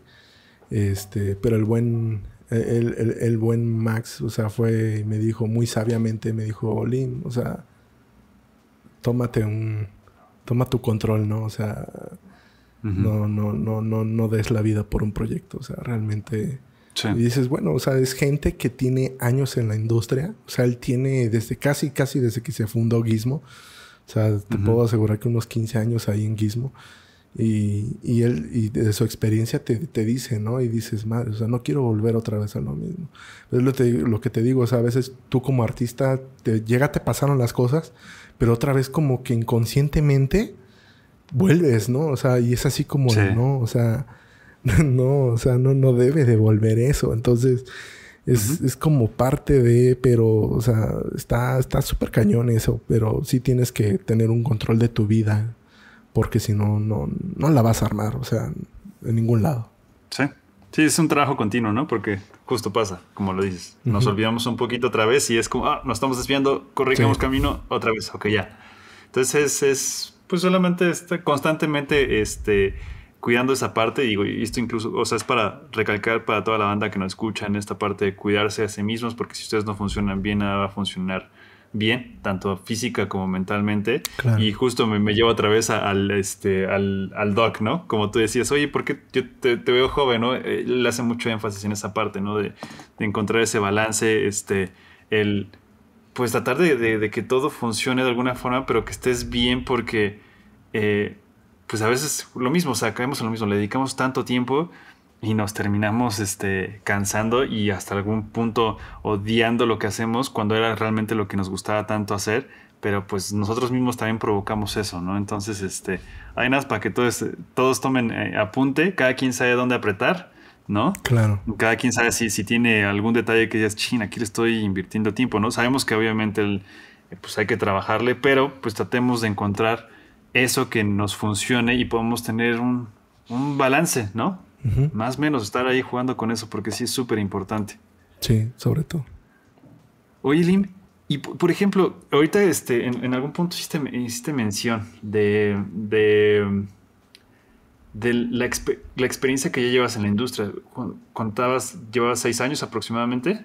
Seis años, poquito, realmente es. Ajá, o sea, yo tengo mucha curiosidad sobre eso y o sea, no, no, es, no es poco, ¿no? Sonará relativamente poco, pero tus trabajos son como de, de, mucho nivel. O sea, ¿qué, ¿qué, es lo, ¿qué es lo que ha hecho, o tú, tú, tú como persona, qué es lo que hace Lim para, para mantenerse, digamos, para estar constantemente subiendo el nivel?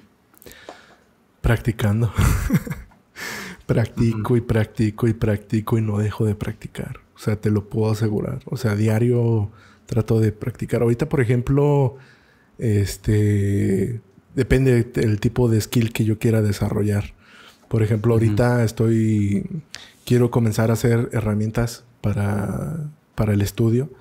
Eh, herramientas que le van a ayudar, le pueden ayudar a mi equipo eh, para texturas eh, o así. Entonces tengo que estar aprendiendo, por ejemplo, Python. Entonces yo trato de ahí como que de aprender poco a poco. O sea, te digo, últimamente como que me he metido un poco más ya en aspectos más técnicos. Pero, por ejemplo, en el lado artístico, yo, por ejemplo, siento que en, por ejemplo, hacer un carácter realista, ya para mí ya no es suficiente. Eh, porque ya me han tocado proyectos donde me toca hacer personajes realistas, este, o me toca hacer likeness tal vez, de proyectos que todavía no salen, este, y los, los, los he desarrollado y demás. Entonces, en lo personal, si yo le pregunto, por ejemplo, a alguien que va a comenzar, me dice, le digo, bueno, tú hasta dónde sería tu tope, ¿no? Yo se lo digo mucho a mis alumnos y me dicen, no, pues para mí un likeness, ¿no? Hacer un, un, humano digital o cosas así. En lo personal, yo me veo más como del área del artista, o sea, de un artista plástico, por así decirlo, porque si te das cuenta en mi portafolio, las piezas personales son, son, varían mucho en los estilos. O sea, te puedo tener un cartoon tanto, y te puedo tener otro, otro tipo de, de, arte. Y es, es, justamente lo que me, me decía mi, mi, amigo. Este, me decía, es que artísticamente, para que tú aumentes tu nivel, está bien explorar otros tipos de, de, de, arte, ¿no? O sea, por ejemplo, en el caso, no sé, te pongo el caso, por ejemplo, de Picasso, ¿no? Picasso, o sea, podía pintar realismos, podía pintar, dibujar y todo lo que tú quieras, este, así, pero llegó como que a un punto donde el tipo ya se había hartado de hacer eso y empezó a practicar otro tipo de, de, cosas. Entonces, en lo personal, trato como que de hacer piezas que demanden tal vez hasta cierto punto algo, algo que la industria tal vez esté requiriendo, tal vez y, esos, pues, ese tipo de cosas me obligan a, por ejemplo, a navegar e investigar, por ejemplo, qué se está usando actualmente, ¿no? ¿Qué, qué tipo de, de, técnica se está usando, ¿no? Ah, ok, bueno, actualmente se está usando mucho lo que viene siendo todo lo procedural. Bueno, trato de, de ver cómo funciona algo procedural con una pieza, ¿no? Entonces, eh, en lo personal, eh, siento que es eso, o sea, estar investigando y combinando el lado artístico con el lado técnico, lo que me ha ayudado como a, dar esa lucidez, por así decirlo. Porque sí llegué a un punto donde yo me sentía ya estancado. Entonces era así como de, bueno, ¿y ahora qué hago? Pero te digo, o sea, trato diario de practicar para no, no perder eso. Porque, o sea, ahorita, por ejemplo, en el iPad, que ya tengo la, la aplicación esta, la de Nomad, que es como un ZBrush chiquito, es como el hijo de, de ZBrush.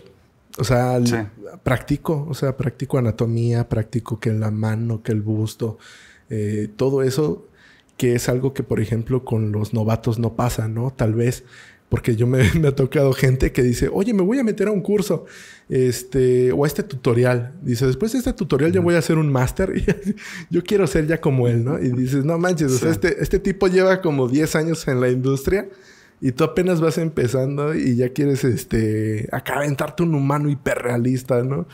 O sea, de hecho había un meme, ¿no? Así, donde estaba un monito, y estaba la meta y estaba el caminito. Y decía character artist y decía el, camino correcto. Te decía eh, estudiar anatomía, estudiar este, texturas, color, iluminación, luz, este, todo ese tipo de cosas, ¿no? Y lo decía, lo que yo pienso, eh, estaba así, estaba el monito y decía character artist y luego decía hiperrealismo, ¿no? Entonces era así. entonces. Es el brinco enorme. Ajá, entonces te digo, mucha, mucha gente llega a pasar eso. De que se frustra porque dices, ah, es que yo vi el tutorial y ya quiero hacer un likeness. Y así, pero eh, me ha tocado ver eso. O sea, de que hay muchos tutoriales tal vez, pero no te explican, por ejemplo, el lado de anatómicamente, ¿no? O sea, me ha tocado verlo nada más que te empiezan a hacer la cara y ¡pum! ahí está la cara y, y, ya. Y no te explican, por ejemplo, no, sabes que acá te está pasando este músculo y este músculo sirve, por ejemplo, para esto y etcétera y demás, ¿no? Que son cosas que, por ejemplo, un anatomista que hace likeness tal vez debe de comprender mejor.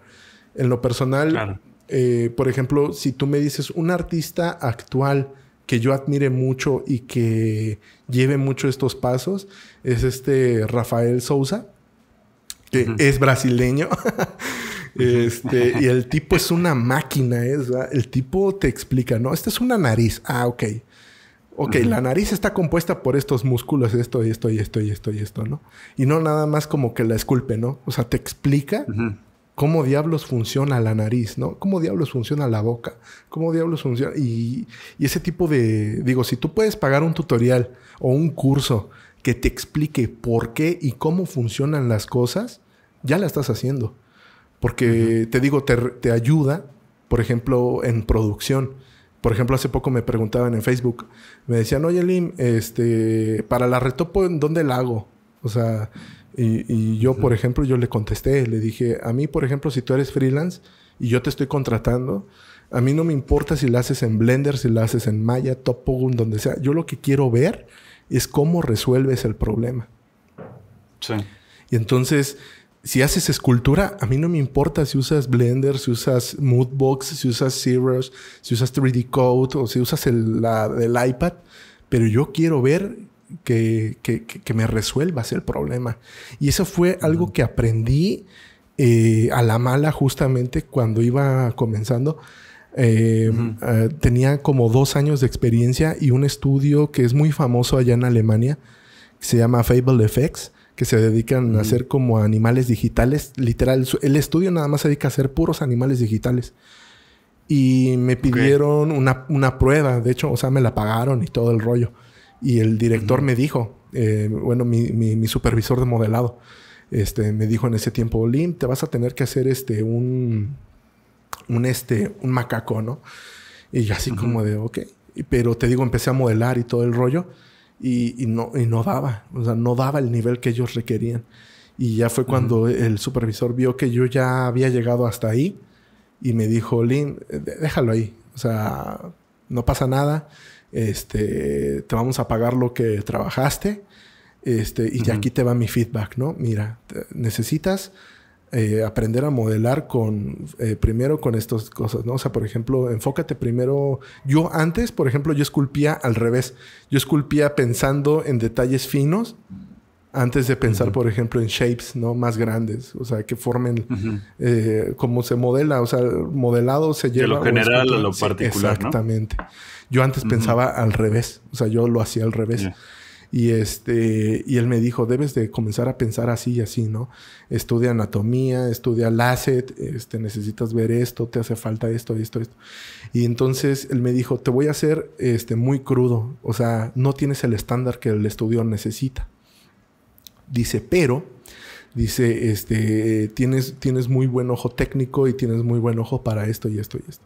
Entonces yo te recomiendo que, por ejemplo, hagas el mismo ejercicio y que después, cuando tú te sientas listo, me contactes a mí o al estudio y nos digas, aquí está. O sea, ya tengo un animal hiperrealista que Fable Effects necesita para su producción, ¿no?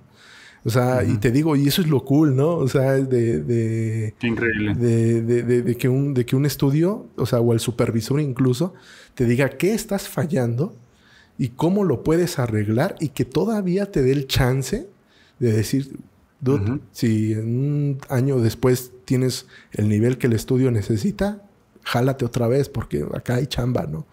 Entonces ahí empezó a salir, empecé a practicar animales. Yo, o sea, no había practicado animales, o sea, lo único que había practicado eran como monos bípedos y cosas así. Y ahí fue cuando me salí de mi zona de confort, ¿no? Que va de esto, de lo que dices, ¿qué hago yo para poder mejorar? Entonces dije, bueno, necesito hacer animales. Empecé a hacer animales. Y te digo, o sea, por ejemplo, si no hubiera tomado el... O me lo hubiera... No sé, te digo porque me ha tocado artistas que se lo toman como muy personal, ¿sabes? Así como de... No, no, no, no. Este es mi estilo, ¿no? Así déjame. y te dices, no, o sea... Ajá.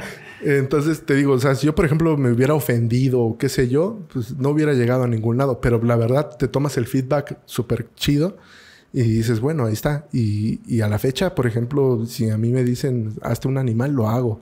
Y de hecho yo fui con ellos después y, ahí está, ¿no? Y después me aceptaron para unas cosillas y demás.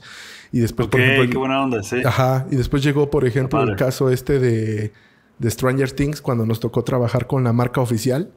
Y fue así como de Lim, este, está la marca oficial de Stranger Things, pero el estudio este, no quiere eh, soltar los assets, entonces te va a tocar desarrollarlos desde cero. Entonces ya no me costó problema Porque, por ejemplo, el demo, el Demodog y este así, o sea, la versión perro del Demogorgon ya no me costaron ningún problema. O sea, copiarlo literal y saber por cómo estaba funcionando el asset. Porque comencé a pensar como él me dijo, ¿no? Como este supervisor de modelado me dijo. O sea, trata de pensar así, ¿no? estudia el asset, qué es lo que el asset requiere, qué es lo que esto requiere. Entonces, digo, ese tipo de feedback, la neta, está súper chido. Es de los pocos feedbacks que te da un estudio que yo he recibido y que sinceramente agradezco enormemente.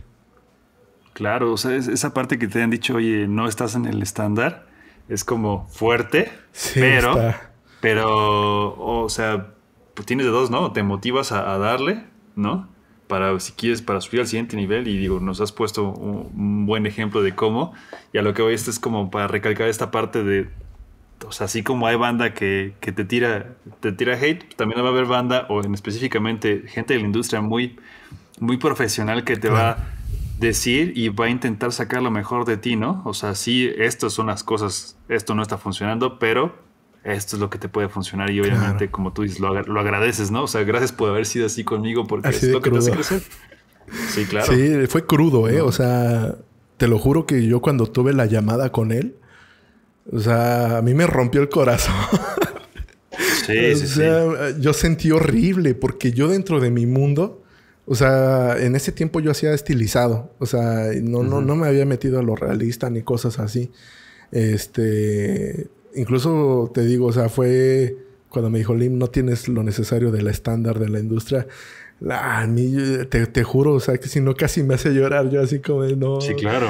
Pero, o sea, lo agarré en buen pedo y agarré y dije, no, o sea, ok, necesito desarrollar estos skills, los voy a desarrollar. Entonces, son cosas que realmente, te digo, no te debes de tomar personal, sino que de un lado profesional, ¿sabes? Y también, pues, la verdad me lo dijo súper cool. Me dijo, mira, te voy a ser bien sincero y así. Y dices, bueno, la neta está chido. Y te digo, ese tipo de feedback, eh, yo siento que eh, a veces a mí hasta me da miedo darlo, sinceramente, para hacerte bien sincero. No es fácil tampoco. No es fácil porque no. sabes cómo se lo va a tomar la persona que, la que lo va a recibir y tal vez lo recibe mal. Pero, por ejemplo, en mi caso, yo a mis alumnos yo sí les digo desde un comienzo. O sea, ¿quieren que sea sincero o, cómo quieren que me los lleve? Y afortunadamente la mayoría de ellos me dicen, no, Lin, o sea, hazme pedazos. O sea, si, si la verdad me hace falta, aunque lo tenga que repetir, y yo te los digo, o sea, yo tengo alumnos que si a mí no me, no me, por ejemplo, tienen que hacer un torso, ¿no? De un, de un humano. Pero la verdad no queda, se los regreso y que lo vuelvan a hacer. O sea, soy como el papá que te arranca la hoja de la plana y lo, tienes que volver a hacer hasta que te caiga. Y está chido porque, por ejemplo, ellos han crecido enormemente y dices, bueno, está chido, pero también me toca del lado, ah, el lado contrario, ¿no? Donde hay una persona que no se lo toma chido y ahí en las redes te está diciendo, no, es que el IME es un grosero y que así como de, duda, te lo dije en buen pedo, o sea, este, o sea, pero te digo, o sea, es muy difícil, sinceramente. Es, yo por eso eh, en las redes ya no, ya no opino de la manera como debería. O sea, ya si por ejemplo el artista se acerca y me dice, oye, ¿me puedes dar un feedback? Yo trato, ¿no? Así como, ah, no, pues ya vi tu portafolio, mira, mm, ah, trato de seguir el ejemplo de él, la verdad, porque creo que fue un buen ejemplo el hecho de que un supervisor te dijera esto y puedes mejorarlo y así. Entonces yo trato de seguir ese tipo de ejemplo con alguien que llega a mí y me dice, oye Lim, ¿crees en, en un tiempecillo si tienes ahí me puedes checar mi portafolio y, así? Entonces lo checo, le digo, ¿sabes qué? Pues está, está cool, esto te está fallando, trata de mejorarlo y demás. Entonces te digo, o sea, hay veces que he conocido gente que me dice, es que no te escribo porque siento como que como que te enojas o qué sé yo. Y le digo, pues ni me conoces, ¿cómo, me va, ¿cómo vas a pensar que me voy a enojar si no me conoces y no me escribes? Claro. Entonces, este, no, o sea, yo estoy ahí. O sea, si a veces tardo un poquito en contestar, tal vez por el trabajo, cosas así, pero, o sea, la gente que me ha escrito y que me ha dicho, Lee, ¿me das un fit? Y yo así, sí, Simón, sin broncas.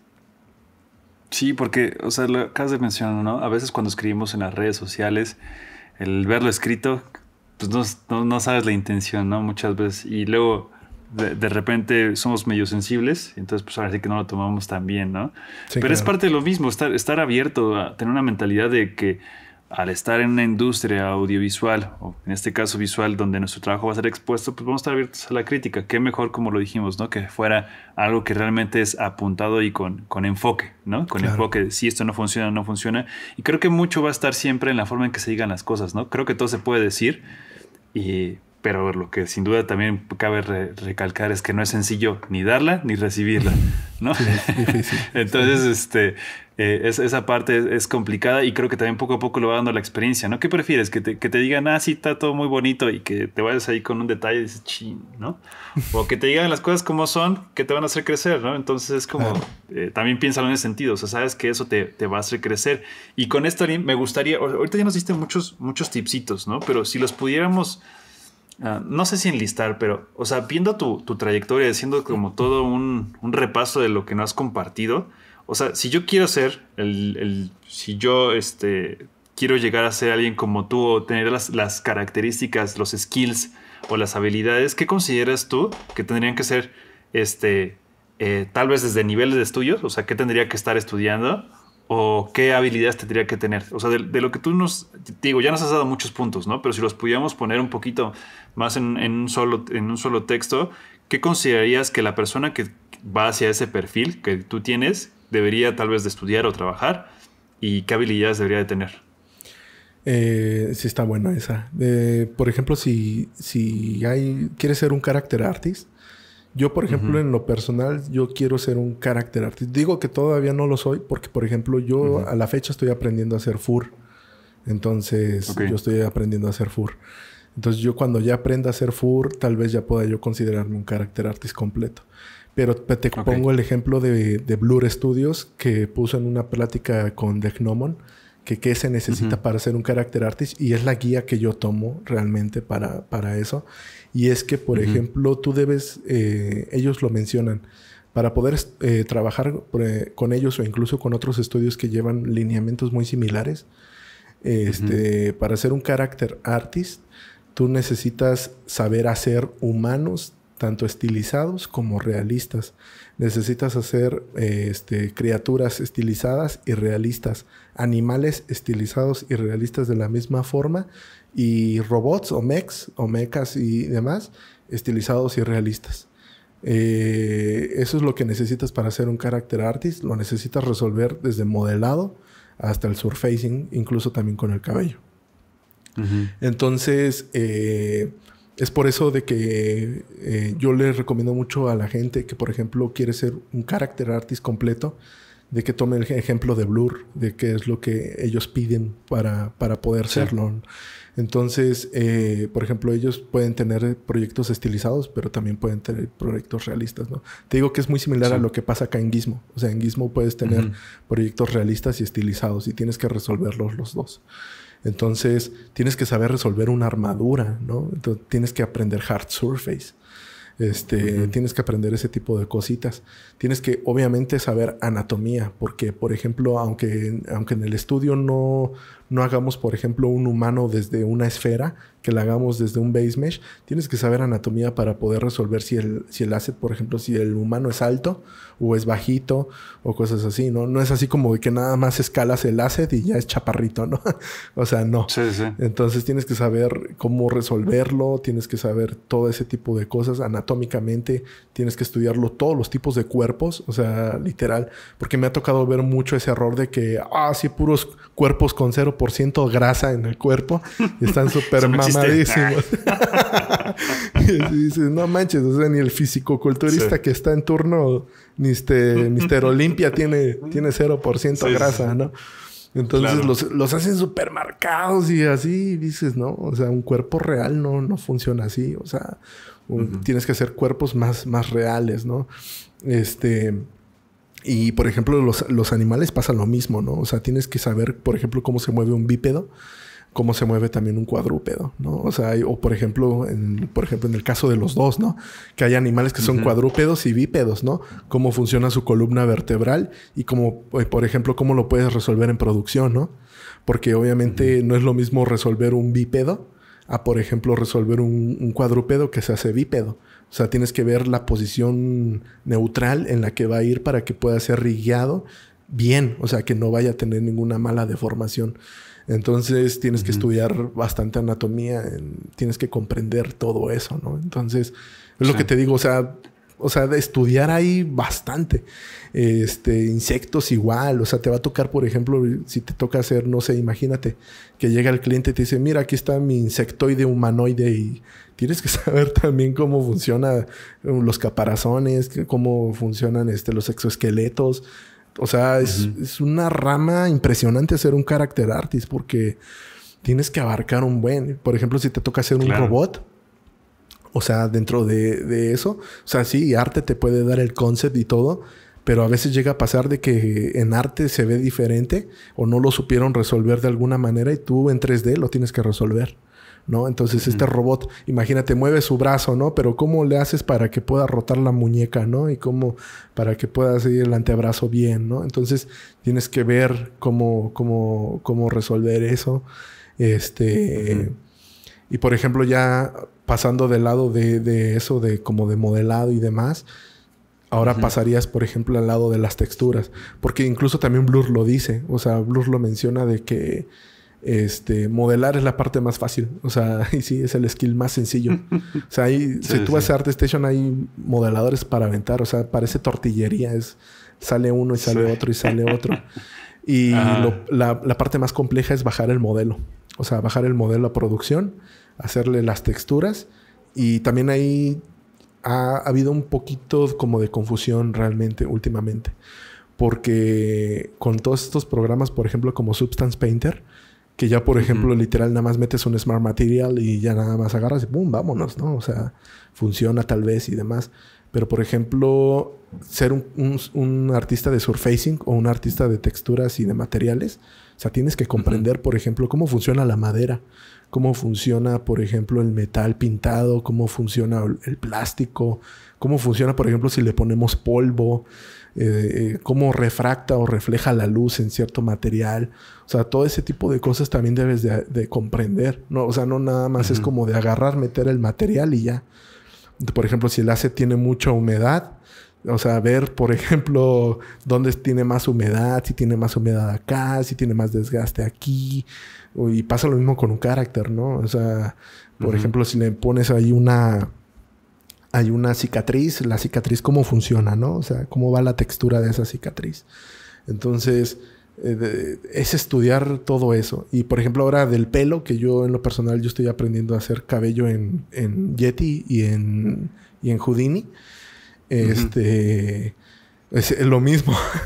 Vuelvo otra vez al aprendizaje, ¿no? Vuelves con clumps eh, del cabello, clumps grandes, luego clumps pequeños, luego los pelitos chiquitos ver cómo, un peinado, por ejemplo, tiene un flujo de cabello diferente que dependiendo el, estilo, ¿no? Entonces, es, muchísimo estudiar, Mitch. Es muchísimo, muchísimo estudiar, te lo juro. Sí, ¿no? Y, claro, creo aquí este, me, recuerda mucho esta parte de, eh, de, como dices, ¿no? Todas las habilidades técnicas y cómo el panorama se va haciendo más amplio, ¿no? Entre más específico, más, más amplio.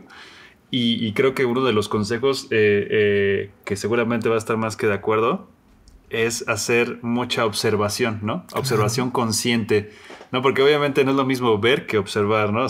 lo, hemos mencionado aquí varias veces y, justo, ¿no? O sea, ahora que platicabas de, de cómo se ve un metal con polvo, o sea, todas las propiedades físicas, ¿no?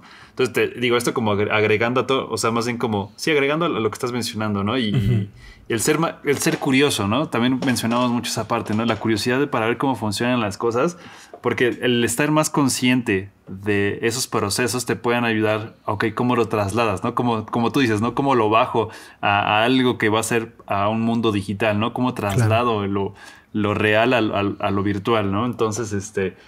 Eh, sí, o sea, todas las tareas que nos platicas, sí, se vuelve un mundo, un mundo, un mundo, un mundo de de cosas tan específicas, ¿no? Que hacen que a final de cuentas el cuidado o la suma de todos esos detalles hacen que se vea increíble lo que estás mostrando.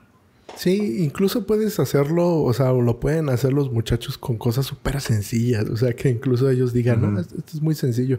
Yo, por ejemplo, hace poco la última práctica que hice de surfacing fue de hacer un quesito. Hice un quesito, un cubo de un quesito. Y fue así, híjole, no tengo tiempo para hacer un mono. Entonces, este, dije, bueno, voy a hacer un quesito. Voy a hacer, voy a hacer un quesito. Vamos a ver. Y, lo hice y, de, o sea, te puedo asegurar que ese quesito me trajo como fácil unos seis freelance de, de surfacing. O sea, te digo, algo tan, algo tan sencillo. o sea, algo tan. Es que no, no, no, era el quesito, era el queso. ¿No? Sí lo vi, Está, está, padre. Y es que sí se ve, o sea, se ven las propiedades del material, ¿no? O sea, es, y, y, ese es también creo que a veces no tenemos que hacer como el humano, el, el elemento enorme, ostentoso, ¿no? Sino puede ser esa, esa unidad mínima ¿no? Pero que se muestre ahí todos los detalles, todo lo que le estás metiendo en este caso a el queso. Sí, sí, o sea, inundarte de referencias. O sea, yo hice un, este, una carpetita de referencias como de 100 fotos de quesos. Incluso, este, o sea, literal, yo ir a tomar foto de, de, diferentes tipos de quesos para ver que, cómo, cómo reaccionaba, este, cómo, por ejemplo, se comportaba con, el, con la luz. O sea, porque te digo, o sea, llega a pasar mucho de que, por ejemplo, un artista novato de surfacing, te digo, le llega y le mete el material de, Substance, pero por ejemplo, cuando lo metemos ya a otra condición de luz, el material se ve diferente. Entonces, eh, por ejemplo, nosotros tenemos que, por ejemplo, en mi caso, como supervisor de esa área, me toca checar que el asset, eh, aunque sea PBR y demás, o sea, que tenga que funcionar en la iluminación que vaya a ser el, el, el producto y que no vaya a haber ahí saltos, porque me ha tocado, o sea, te digo eso, de que nada más llegan y le meten un smart material y, y ya, y, te quedas bueno, y el, y, el, y el, el, subsurface, o sea, no le metiste, por ejemplo, hay una máscara de subsurface. No, entonces, ¿cómo sabes que, por ejemplo, cómo le va a dar la, la contraluz, no? O sea, ¿cómo le va a dar el scatter? Entonces, necesitas ahí hacerle su mascarita de, de scatter, ¿no? Entonces, todo ese tipo de cosas, este, obviamente pues, los hace a ellos crecer también. Pero es lo que te digo, o sea, no necesitas forzosamente hacer el mono completo y de ver. O sea, te digo, incluso con props súper sencillos. Este, pero el hecho de, que, lo hagas bien, que lo hagas, lo trates de hacer este así, eh, te ayuda bastante para poder desarrollar tus skills. Sí, no, sin duda. Este, ahora sí que hay para toda la banda que nos escuchan Digo, ahí tómenle nota, porque, o sea, tal vez muchas de las cosas es como, digo, obviamente, como dices, ¿no? Práctica, práctica, práctica. No es, no es nada de, entre comillas, ¿no? No es nada del otro mundo, pero pues hazlo. ¿no? Ahí está, ahí está el, el detalle, ¿no? Entonces está ahí para que todos tomen apunte. Eh, que sin duda, pues, eso que acabas de mencionar de las referencias, tomar fotos, ver todas sus posibilidades y variantes pues te va enriqueciendo, ¿no? Y te va haciendo también más consciente de, cómo funciona, ¿no? Porque de repente ya te das cuenta que tal vez el queso se parece un poquito al, no sé, al, al, material de la liga, ¿no? Que es este, como este chicle, como el caucho, ¿no? Entonces ya te va dando más conciencia, ¿no? De, los materiales y, tal vez cómo, cómo puedes mezclar técnicas y te hace mucho más, este, eh, crítico, ¿no? Sobre las propiedades que debería de tener. Entonces, sin duda, eso ahí para que, ahí para que la apunten. Lim, me gustaría que nos platiques un poco sobre, sobre pues tu página. O sea, está, está bien padre porque es como pues, llevar tal cual este, tu, tu nombre, es tu marketing personal. Eh, me gustaría que nos platicaras un poquito porque me gustó mucho en particular los, los, el, los, artículos que tienes. No creo que eh, para toda la banda que nos escucha es, sería bueno que le den una vuelta porque sin duda está este, bastante interesante lo que compartes, ¿no? Que de hecho en el transcurso de la plática nos has dado tipsitos y, notas de lo, que, de lo que viene ahí, ¿no? Entonces, este, eh, ¿me podrías platicar un poquito sobre, sobre lo, tu workshop? Haces mención sobre esta parte de, de, tus alumnos, ¿no? Me, me, gusta esta parte que donde haces énfasis que, que sea esta parte de, en español, ¿no? De, obviamente sabemos que podemos conseguir esto por todos lados. Eh, hay muchísimas opciones ahora, como mencionamos. Pero, ¿qué es lo que haces tú particularmente para ese, para ese proyecto que tú tienes que por lo visto ha tenido bastante éxito. Sí, eh, bueno, de ahí de, la página, la página la, tuve que hacer porque un reclutador de Canadá este, que de, un estudio grande, este, me, ofreció chamba para irme para allá. Y me dijo, Lin, necesitas sí o sí este, una página. O sea, este, o sea, sí el ArtStation sirve y todo lo que tú quieras, pero el hecho de tener una página te hace ver más profesional. Entonces fue así como dije, oh, necesito una página. Entonces ya tuve que buscar al diseñador gráfico, este, ya me la, me la armó y demás. Entonces ya comencé a, ahí como que armarla. Eh, pero sí, o sea, en, sí la página trata de, de, por ejemplo, dar este énfasis de, de hacer un blog. Ahorita lo, lo, he, lo he descuidado un poquito, pero este, por, te digo, por toda la cuestión ahorita de la carga de trabajo que se vino en estos últimos tres meses. Pero este, o sea, los blogs es así como pequeñas cositas, o sea, pequeños artículos donde trato como de dar énfasis a este tipo de cositas, ¿no? Que tal vez nadie te dice cuando estás en una escuela, por ejemplo, ¿no? O sea, en la escuela nada más te enseñan, oh, sí, aquí está el programa y lo enseñas y ya, ¿no? O sea, como que algún artista agarre y te diga, por ejemplo, cómo funciona una producción o cómo funciona ese tipo de cosas, pues ahí está, ¿no? Entonces, el, hecho de ese blogcito, pues está, está como para eso. Y lo del workshop eh, trata, ahorita ya no, o sea, este año nada más tuve un grupo realmente porque este sí, sí me vi súper atoradísimo con, con, el jale. Pero por ejemplo, este, o sea, se enfoca en, en ser un character artist, o hacer un mono, o sea, realmente hacerlo bien. O sea, y es lo que te digo, yo, yo trato de ser como que muy estricto con mis alumnos. O sea, yo desde un comienzo, antes de que se metan, yo sí les digo, ¿sabes qué? Yo soy muy estricto y, y para mí, este, esto es para que tú crezcas, ¿no? Entonces, ellos ya van de antemano, ya saben. Entonces trato de enseñarles desde la escultura, o sea, te digo desde lo súper básico, así que es hacer una nariz y demás, hasta hacer el mono completo, hacer hard surface o cosas así, hacer el surfacing y todo eso, ¿no? Entonces, le pongo mucho énfasis de lo de español porque, a pesar como tú dices, o sea, sí existen en otros lados en inglés o cosas así, pero son, son muy pocos o es casi nulo el que te abarca, por ejemplo, hacerlo completo desde cero. Eh, por ejemplo, hay muchos cursos de ZBrush, o sea, puros ZBrush, o sea, te enseñan a hacer el mono en ZBrush y un render en Keyshot y ya, ¿no?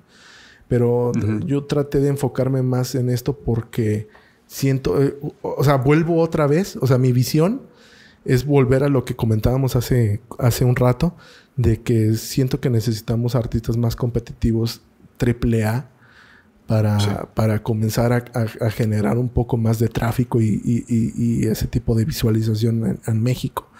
Entonces, este, ya sinceramente perdí la cuenta cuántos alumnos llevaba y creo que ya llevaba a lo largo de estos tres años más de 100 alumnos.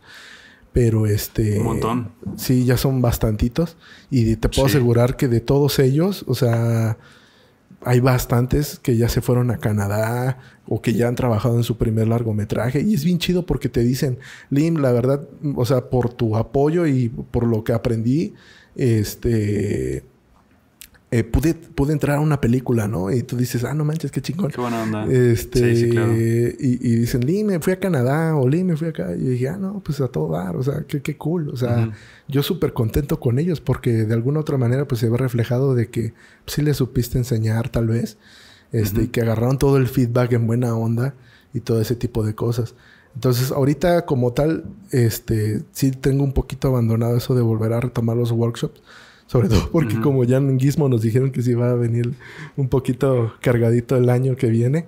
Entonces, pero trato, por ejemplo, ahorita estoy queriendo como que trasladarlo, o sea, el mismo eh, marco, por así decirlo, el marco teórico y práctico, lo quiero pasar como un Patreon.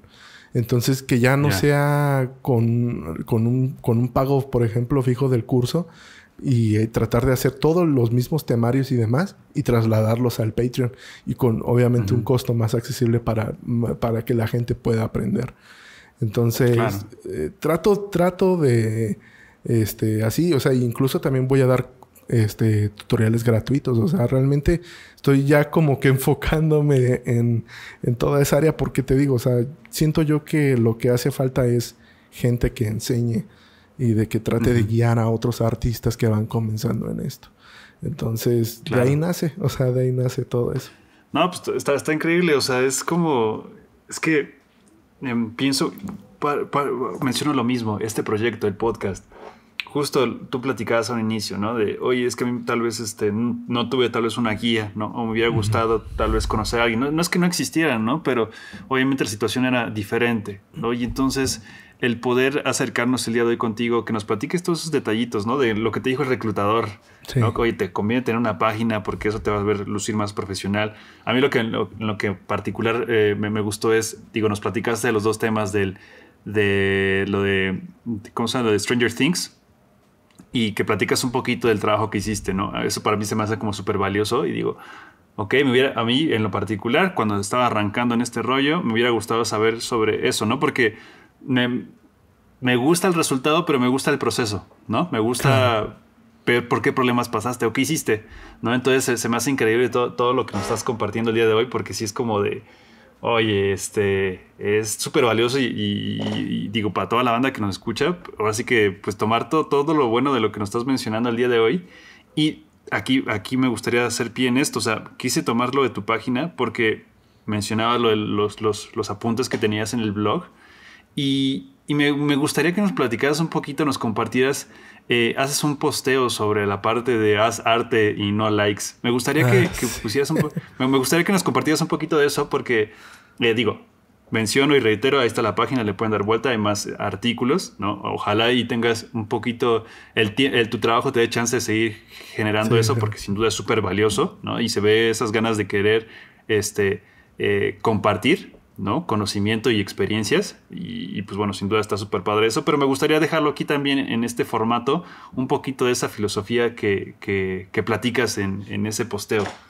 Sí, está bien curioso y de hecho muchos, muchos amigos me dijeron, dice, ay no, pues ahora sí que es como, tengo, tengo un, compa este, que me dijo, Lim, dice, no manches, te la rifaste con ese título. Y yo, ¿por qué? Y, me dijo, pues no manches, eres como la, la chica guapa que dice, ser guapo no importa, lo que importa es lo de adentro. Y, le, y, le, digo, ¿por qué? me dice, no manches, pues tienes, tienes un buen de seguidores y tienes un buen de, este, de likes en cada posteo, o sea, es un, buen... O sea, no puedes hablar de eso. Y le dije, no, métete al post para que veas de lo que hablo. O sea, y ya, o sea, te digo, este, pues sí, o sea, el, el hecho del post es eso, ¿no? Porque me ha tocado ver mucho, el, eh, justamente ahora con todo, te digo, hubo como un boom de, de, todo esto del arte digital y fue así como de, ah, tengo que hacer una pieza para ganar 500 likes, ¿no? Y así como de madres, o sea, y, veía así y, me tocó ver incluso gente que se frustraba si no, si no posteaba algo al día siguiente o cada dos días o si no era muy recurrente, ¿no? Y, incluso también gente que yo conocía y fue el, hecho de que yo les dije, no, o sea, no hagas arte, no hagas arte por likes. O sea, eh, créeme que, por ejemplo, si tú haces arte porque a ti te gusta hacer arte, o sea, porque a ti te gusta hacer el proceso, porque tú sientes que estás creciendo, eso, los likes van a venir este, de añadiduría. O sea, son añadidos que realmente se muestran, se ven reflejados en tu pasión. O sea, no es así como de que lo busques. O sea, te, puedo jurar, te lo juro, te lo juro por mi vida, que yo cada posteo que hago a mí no me interesa si tiene 5 likes, 10 likes o, o, lo que sea, ¿no? A mí lo que me importa es, ¿sabes qué? Aquí está esto. O sea, por ejemplo, tú ves mi Instagram y mi Instagram, yo tengo una nariz. Últimamente hice una práctica de una nariz. Es lo que te digo. O sea, no hago un mono completo porque no tengo tiempo. Pero, por ejemplo, hice una nariz en el iPad. La empecé a hacer en el iPad y, y este, la subí. Y así. Y ya cuando vi, dije al otro día, ay, güey, 1500 likes. Y dije, por una, una nariz. Y dices, ah, una nariz, o sea, me gusta hacer la nariz. Y después dije, bueno, me, me, me, me, gustó bastante y dije, este, me gustó bastante, ¿no? Esa nariz. Bueno, vamos a hacerle retopo.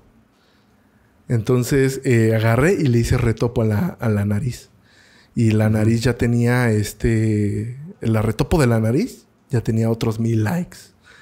Pero, o sea, te digo, fue porque lo hice, ¿no? O sea, fue porque hice la, la, la, la naricilla y me gustó. Y luego le hice las texturas a la nariz y, y otros, y otros likes. Y de hecho, un comentario agarró y me dijo: este, oye, sí, está muy bonito y todo tu nariz, pero pero ¿qué, qué tramas con esa nariz? Y yo así de nada, o sea, es una práctica y ya, o sea, no, no, no, no, no, no, no, no tiene nada de relevante hacer una nariz. Entonces es lo que te comento, o sea, el hecho de que yo no haga arte para ganar o generar likes, este, o sea, creo yo que viene por añadiduría porque le metes la pasión a, a eso poquito que tal vez estás haciendo. Y te digo, o sea, ahorita yo siento que llega en este punto donde muchos, muchas personas piensan de que el hecho de tener muchos likes es, es un sinónimo de ser muy bueno. Cuando, por ejemplo, hay, hay casos de gente que, por ejemplo, no sé, te baja el asset y te lo hace pasar como que él lo hizo, ¿no? O sea, te digo porque ya me pasó. En, en, una entrevista ya me pasó. Donde me tocó ver un portafolio que tú decías, ah, está, está decente. Pero este el chavo no sabía resolver nada. Y en el portafolio, en el portafolio tenía miles de likes y no lo sabía resolver. Entonces, es lo que te digo. O sea, por eso puse el, ejemplo este de, que el hecho de que no, el hecho de tener muchos likes significa de que sea de calidad. ¿No? Entonces, eh, es eso. O sea, enfocarse en lo que te gusta. Y si a ti te gusta, si a ti te gusta lo que tú haces, lo demás va a venir solito, te lo juro. O sea, yo no, yo no sé en qué momento pasó, por ejemplo, entre mi Facebook, el Art Station y, lo demás a tener tanta gente. O sea, fue el hecho de que la misma gente empezó a decir, bueno, a mí me gusta lo que hace este, este sujeto, ¿no? Entonces, la misma gente te va buscando para, para ver qué, qué posteas posteriormente. Pero te digo, yo no lo busco. O sea, ¿por qué? Porque mi trabajo no es ese. Mi trabajo no es hacer likes. O sea, mi trabajo es hacer cosas para mí, mi trabajo es hacer cosas para la producción, o mi trabajo es hacer este, cosas para mi satisfacción propia. Entonces, disfruten. O sea, creo que mi, mi, mi, recomendación es disfruten lo que hacen, háganlo con pasión y créanme que los likes, si digo, si, si si hay mucha gente que quiere ver eso, o sea, van a venir, pero siento que como artista eso es malo y es contraproducente desear ese tipo de atención o de ese tipo de... Es, muy... Es como una droga, ¿sabes? O sea, me ha tocado verlo con artistas compañeros que te digo, o sea, si, no ven, postean algo y por ejemplo a los cinco minutos no tiene dos likes o tres, cuatro, cinco, seis, se sienten ansiosos. Y, es como buscar esta aprobación, ¿no? Todo el tiempo de que lo que están haciendo está haciendo, está, pues, está, está bueno, ¿no? Entonces esa búsqueda, como dices, es como una droga, ¿no? Se puede volver adictivo la búsqueda de ese, de que les gusta, Sí, sí, ¿no? Y, y es lo que te comento, o sea, yo siento que la gente actualmente, digo, o sea, las redes sociales te orillaron a eso, o sea, realmente... O sea, yo decirte que no lo buscaba a un comienzo sería, sería muy hipócrita de mi parte, sinceramente. Pero te digo, o sea, todo este tipo de enseñanzas que obtienes de un estudio, obtienes de un reclutador o de un supervisor, o incluso de experiencias propias, hace de que pues, eso ya no sea relativo para ti, o sea, que ya no te interese. Entonces, por eso, por eso es lo que te comento. O sea, a mí ya no me importa, sinceramente, eso. O sea, por ejemplo, hace poco también me dijeron, o sea, eh, publiqué de que, ¿qué onda eso de los NFT? para publicar arte en cripto. Y me llegaron fácil, si no te miento, como 15 invitaciones para Foundation de amigos que ya estaban en, la plataforma y dijeron, Lee, métete a Foundation. Y yo así como de, no, o sea, ahorita no, no, no busco eso, sinceramente. O sea, yo ahorita estoy en un plano donde quiero crecer personalmente. O sea, quiero darle atención a mis hijos. No quiero estar como presionado en, las, en el aspecto de que, por ejemplo, eh, tener que ver ese tipo de, cosas. Entonces, este, te digo, o sea, ahorita que, ya tengo a mi, a mi, a mi otro bebé, es así como disfrutarlo porque, eh, te digo, o sea, a, mi otro niño lo descuidé un año, por así decirlo, cuando me fui a huevo. Y fue justamente en esta etapa donde está ahorita mi bebé. Y te digo, o sea, ya es lo que quieras como persona, pero el hecho de que no quieras hacerlo por, por aprobación de la gente, no lo hagas, porque ya ahí va a depender de lo que tú quieras, de lo que tú quieras como persona, porque te digo, o sea, yo lo vi con mi hijo. Mi hijo me hizo falta bastante durante ese año, aunque lo veía una vez a la semana. O sea, si yo por mí fuera, te lo juro por mi vida. O sea, yo he recibido ofertas de trabajo de todos lados del mundo. Y no me he ido de México porque no es mi idea irme de aquí. O sea, yo soy una persona muy familiar, ¿sabes? O sea, es muy difícil para mí alejarme de mi familia. Y yo lo vi con ese año que estuve lejos de mi hijo. O sea, eh, sinceramente no, no, es algo que no cambiaría. O sea, yo no voy a cambiar algo que tal vez profesionalmente para muchos es un sueño. Para mí, mi sueño nada más es crecer como artista o así y ver a mis hijos o estar cerca de ellos. Que tengan una estabilidad también. Entonces, digo, ya depende de cada quien, porque sí, sí hay muchos compañeros que agarran y me dicen, no, Lin, es que mi sueño es irme a Canadá. Y yo, vete. o sea, si, si puedes, si tienes la oportunidad, vete. O sea, hazlo. O sea, realmente yo siento que, que, depende ya de, las expectativas de cada quien.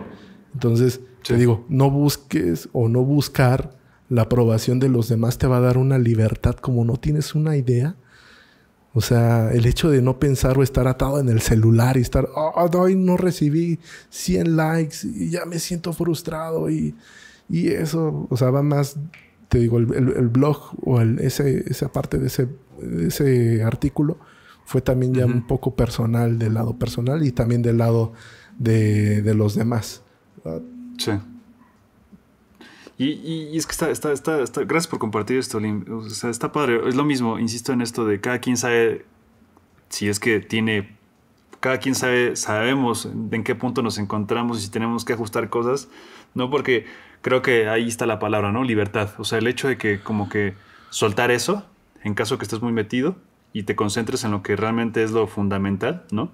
Cada quien depende, dependerá de cada quien para que es importante ¿no? Y bajo sus esquemas y sus valores o lo que ellos consideren que es lo correcto y lo que les hace bien, pues buscar eso, ¿no? Pero, o sea, te, te, agradezco mucho por compartir eso porque sin duda, o sea, a más de uno les va a hacer, les va a hacer clic eso, este, que es, es, lo que buscamos, ¿no? Porque nos sentimos muy identificados con muchas cosas de las que estás diciendo y está padre. Eh, gracias por eso, Lim. No, no te pores.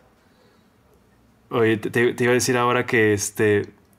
Eh, ¿Hay algo, Lim, que, te hubiera gustado escuchar cuando arrancabas en este rollo? O sea, eh, nos has platicado ahorita ya de muchas cosas sobre cómo, cómo fuiste aprendiendo, ¿no? Cómo ha sido este, esta carrera, entre comillas, corta, ¿no? Y qué es lo que te ha mantenido este, en constante crecimiento, ¿no? Pero en esos primeros, cuando ya estabas mucho más enfocado, que de repente los clientes te pedían más requerimientos y obviamente tuviste que ir ampliando tu, este, tu, tu set, tus habilidades. Eh, en ese momento, tal vez no sé si en esa etapa o antes, ¿hay algo que te hubiera gustado escuchar en esos primeros este, pasos en, esta industria? Sí, me hubiera gustado mucho escuchar de qué, hacer realmente, ¿sabes? Como, o sea, una mano guía, porque sí fue muy frustrante para mí. Eh, por ejemplo, yo que no vengo de ningún background de, arte, por, así decirlo, no, o sea, nada relacionado con el CGI este, yo, por ejemplo, yo estudié diseño gráfico. De hecho, ni siquiera me titulé porque yo ya no me consideraba diseñador. Este, entonces, yo vengo de un background de nada. o sea, a mí no me enseñaron nada de lo que sé ahorita. O sea, fue técnicamente eh, investigación propia y, estar capacitándome propiamente. Pero, o sea, si, si a mí alguien me hubiera dicho desde un comienzo, Lim, este, puedes mejorar así, así, así desde un comienzo, siento que me hubiera acortado fácil muchísimos, muchísimos problemas. Y también te digo, fue el hecho de que, por ejemplo, yo veía muchos eh, colegas que ahora son amigos, como por ejemplo, a mí, por ejemplo, yo cuando comencé, yo veía a Edgar y a Soren, ¿no? Y yo decía, ay, ¿cómo le voy a escribir a ese man, ¿no? o sea, de estar bien ocupado Y, y, tal vez, ¿no? Entonces, ese tipo de cositas también yo decía, híjole, ¿no? Ya después cuando ya me los hice mis compas, este, a, los dos, ya era así como de cotorrear, ¿no? No, pues me hubieras escrito, que quién sabe qué, ¿no? Pero es lo que te digo, o sea, este, tal vez no lo piensas desde un comienzo, tal vez porque piensas muchas cosas, ¿no? Te digo, así me ha tocado, por ejemplo, a mí me dicen, oh, Lim, se ve que tú eres así como medio payaso y así como, o sea, ¿lo, lo, lo, piensas o, has interactuado conmigo? ¿no? Y es así como de, o sea, conóceme, ¿no? O sea, y, la gente, o sea, la misma gente te, te, te, busca, hay, eh, o sea, alumnos que he tenido que son súper amigos ahora y cosas así. O sea, te digo, yo he tenido alumnos que me dicen, Lim, es que yo, donde trabajaba, yo recibía como que como que palabras así que hablaban de ti y pues la verdad no eres la persona que ellos decían. Y le dije, no, pues ¿quiénes son? Y yo pues en mi vida los he conocido, o sea, no he entablado una plática con ellos. O sea, sinceramente no sé por qué piensan eso de mí. Y ese tipo de especulaciones son las que te parten la madre al comienzo, ¿sabes? Porque, o sea, yo me llevé mucho ese tipo de especulaciones al principio. Fue así como de, bueno, ¿y este quién es? ¿No? ¿Y este vato qué? y, demás. Entonces, también, sobre todo el hecho de que yo no haya estudiado nada, no, que no haya venido de una universidad cara o de que no haya estudiado nada, o sea, literal vine de nada. O sea, y, ese tipo de especulaciones, pues, la gente se las llevó y, siguieron y demás. O sea, te digo, yo tengo colegas, amigos que me dicen eso. O sea, no, pues es que en el estudio yo tengo amigos de que hablaban esto de ti, cosas así, ¿no? Entonces, si a mí alguien me hubiera dicho desde un comienzo, Lin, tú puedes crecer de esta manera bien y demás, este, yo lo hubiera hecho. Y, y, tal vez ser un poco menos susceptible a ese tipo de, de palabras que al comienzo tal vez este pues sí me sí me pegaban para serte sincero cómo no sí sí sí me pegaban pero pues siempre ponía de ejemplo eh, mi papá siempre que en paz descanse siempre decía este, no, no permitas que, un mal comentario de alguien se convierta en tu realidad. ¿No? Entonces, eh, pues yo hasta la fecha lo sigo usando realmente, ese, ese, este, ese comentario de mi papá. Y, te digo, o sea, realmente, pues no me preocupo. O sea, yo llegué, te digo, llegué a un punto donde si a mí me hubieran dicho, busca tu estabilidad y busca tu libertad como persona, como lo que quieres ser, como y demás desde un comienzo, me hubiera evitado frustraciones, me hubiera evitado incluso que me enfermara, o sea, que, estuviera ahí medicado y todo ese rollo. O sea, me hubiera evitado de muchas cosas. Y es, te digo, es tal vez cosas que la gente no te dice o una escuela no te va a decir porque pues la escuela nada más te va a capacitar para que salgas y hagas tu trabajo, ¿no? Pero pues nadie te dice este camino del artista, ¿no? Que es como que eh, yo lo, cuando yo platico con muchos amigos es como muy similar, ¿no? No, pues a mí me pasó algo muy similar, o, a mí me pasó esto o aquello, yo tuve este decaída, yo tuve esto y demás, ¿no? Entonces, o sea, si te digo, si a mí me hubieran llegado una maquinita del tiempo y hubiera ido al pasado, me hubiera evitado bastantes problemas. Y ese, y, ese creo que eh, de todo lo que nos mencionas, Lynn, o sea, que también, ¿no? Si, no hubieras vivido todas estas experiencias, pues no hubieras llegado tal vez a este punto de que es como de estabilidad, ¿no? O tratar de buscar ese balance sobre lo que es lo importante, ¿no? Obviamente también te formó. Y, insisto en esta parte de lo que es este proyecto, ¿no? De, de si a alguien le llega y tal vez por algo estás diciendo esto, ¿no? Así como tú decías, ya este, el supervisor de tal este, lugar en, en Europa, que ahorita olvidé el nombre del estudio, como el doc, ¿no? Ya pasaron por algo, ya me están dando un consejo de algo es por algo, ¿no? El supervisor de Argentina, ¿no? O sea, ya es porque ya pasaron por un proceso. Claro. Y si te lo dicen es porque, pues ya también les tocó, igual que este, ahora sí que meterse a ese rollo y entonces es como banda que nos escucha, pues este, escuchen a Lim los consejos que nos da. Este, porque por algo es, ¿no? Obviamente muchas de las veces no experimentamos en cabeza ajena y tenemos que pasar por cierto proceso, pero lo mismo, ¿no? O sea, recalcando lo que dices, es como pues si estos, estos mensajes o esta plática les puede ayudar a llevar el camino un poquito más, eh, más, más tranquilo, con, más este, con más énfasis. De hecho, aquí me, nace una, duda. O sea, ¿en qué momento, Lim, o sea, al ser tan autodidacta, o sea, tienes como, o sea, como mucho enfoque? O sea, ¿cómo es que encuentras esa parte del enfoque de ser como tan, ok, eh, sentiste que ya la parte del diseño no estaba haciendo lo tuyo, pero entonces, ¿cómo logras ser tan estructurado? ¿Siempre fuiste así o, qué fue lo que te ayudó a, seguir esa, línea y, pues ser autodidacta y llenarte de información e ir aprendiendo? Desde niño soy una persona que soy muy, ¿cómo te diré? no matado, por así decirlo. O sea, porque también era, me, gustaba mucho el desmadre. Pero, o sea, yo, yo, o sea, yo era un niño de, de, casa, de que era así de 8, 9, 10. O sea, mi familia me exigía ese tipo de calificaciones. Y era así como de que muy dedicado, por ejemplo. O sea, y que no era de que, por ejemplo, yo, a mí me obligaran a, así como, ah, no, pues es que ahora tienes que sacar esta calificación y demás, ¿no? O sea, yo desde niño, o sea, si a mí me apasiona algo, o sea, yo investigo o, así, o sea, yo era de los mocosos que llegaban los libros de texto y me los ponía a leerlos, o sea, cuando así llegaban y veía y demás, ¿no? Entonces, eh, me, gusta mucho leer, o sea, me gusta mucho leer en ese tipo de cosas. Y yo siento que ese tipo de, de por ejemplo, de saber cuando llegó, llegó esto de que, de que yo qué quiero hacer, por ejemplo, cuando llegué al área de concept, dije, bueno, vamos a, ver lo del concept. O sea, ¿qué, ¿qué, áreas tenía que yo investigar, ¿no? Entonces te digo, yo investigaba o veía las pláticas, por ejemplo, de este, de este, de este cuate, este de Dominic Quick que, que, se dedicaba a pura concept, que las daba las charlas en Decnomon y decía el tipo que, que, estudiar, ¿no? O sea, ese tipo de cosas, ¿no? Si sabes qué, si quieres ser concept, eh, dedícate a estudiar esto. Entonces yo trataba así como, te digo, aunque yo no tenía en la universidad como que ese back de, sí, estudia arte o qué sé yo, ¿no? O estudia este tipo de cosas, composición y demás. O sea, te lo dan, pero sabes que como diseñador gráfico se enfocan más en otras cosas. Entonces era así como de que por mi parte estar investigando, estar investigando ese tipo de cosas.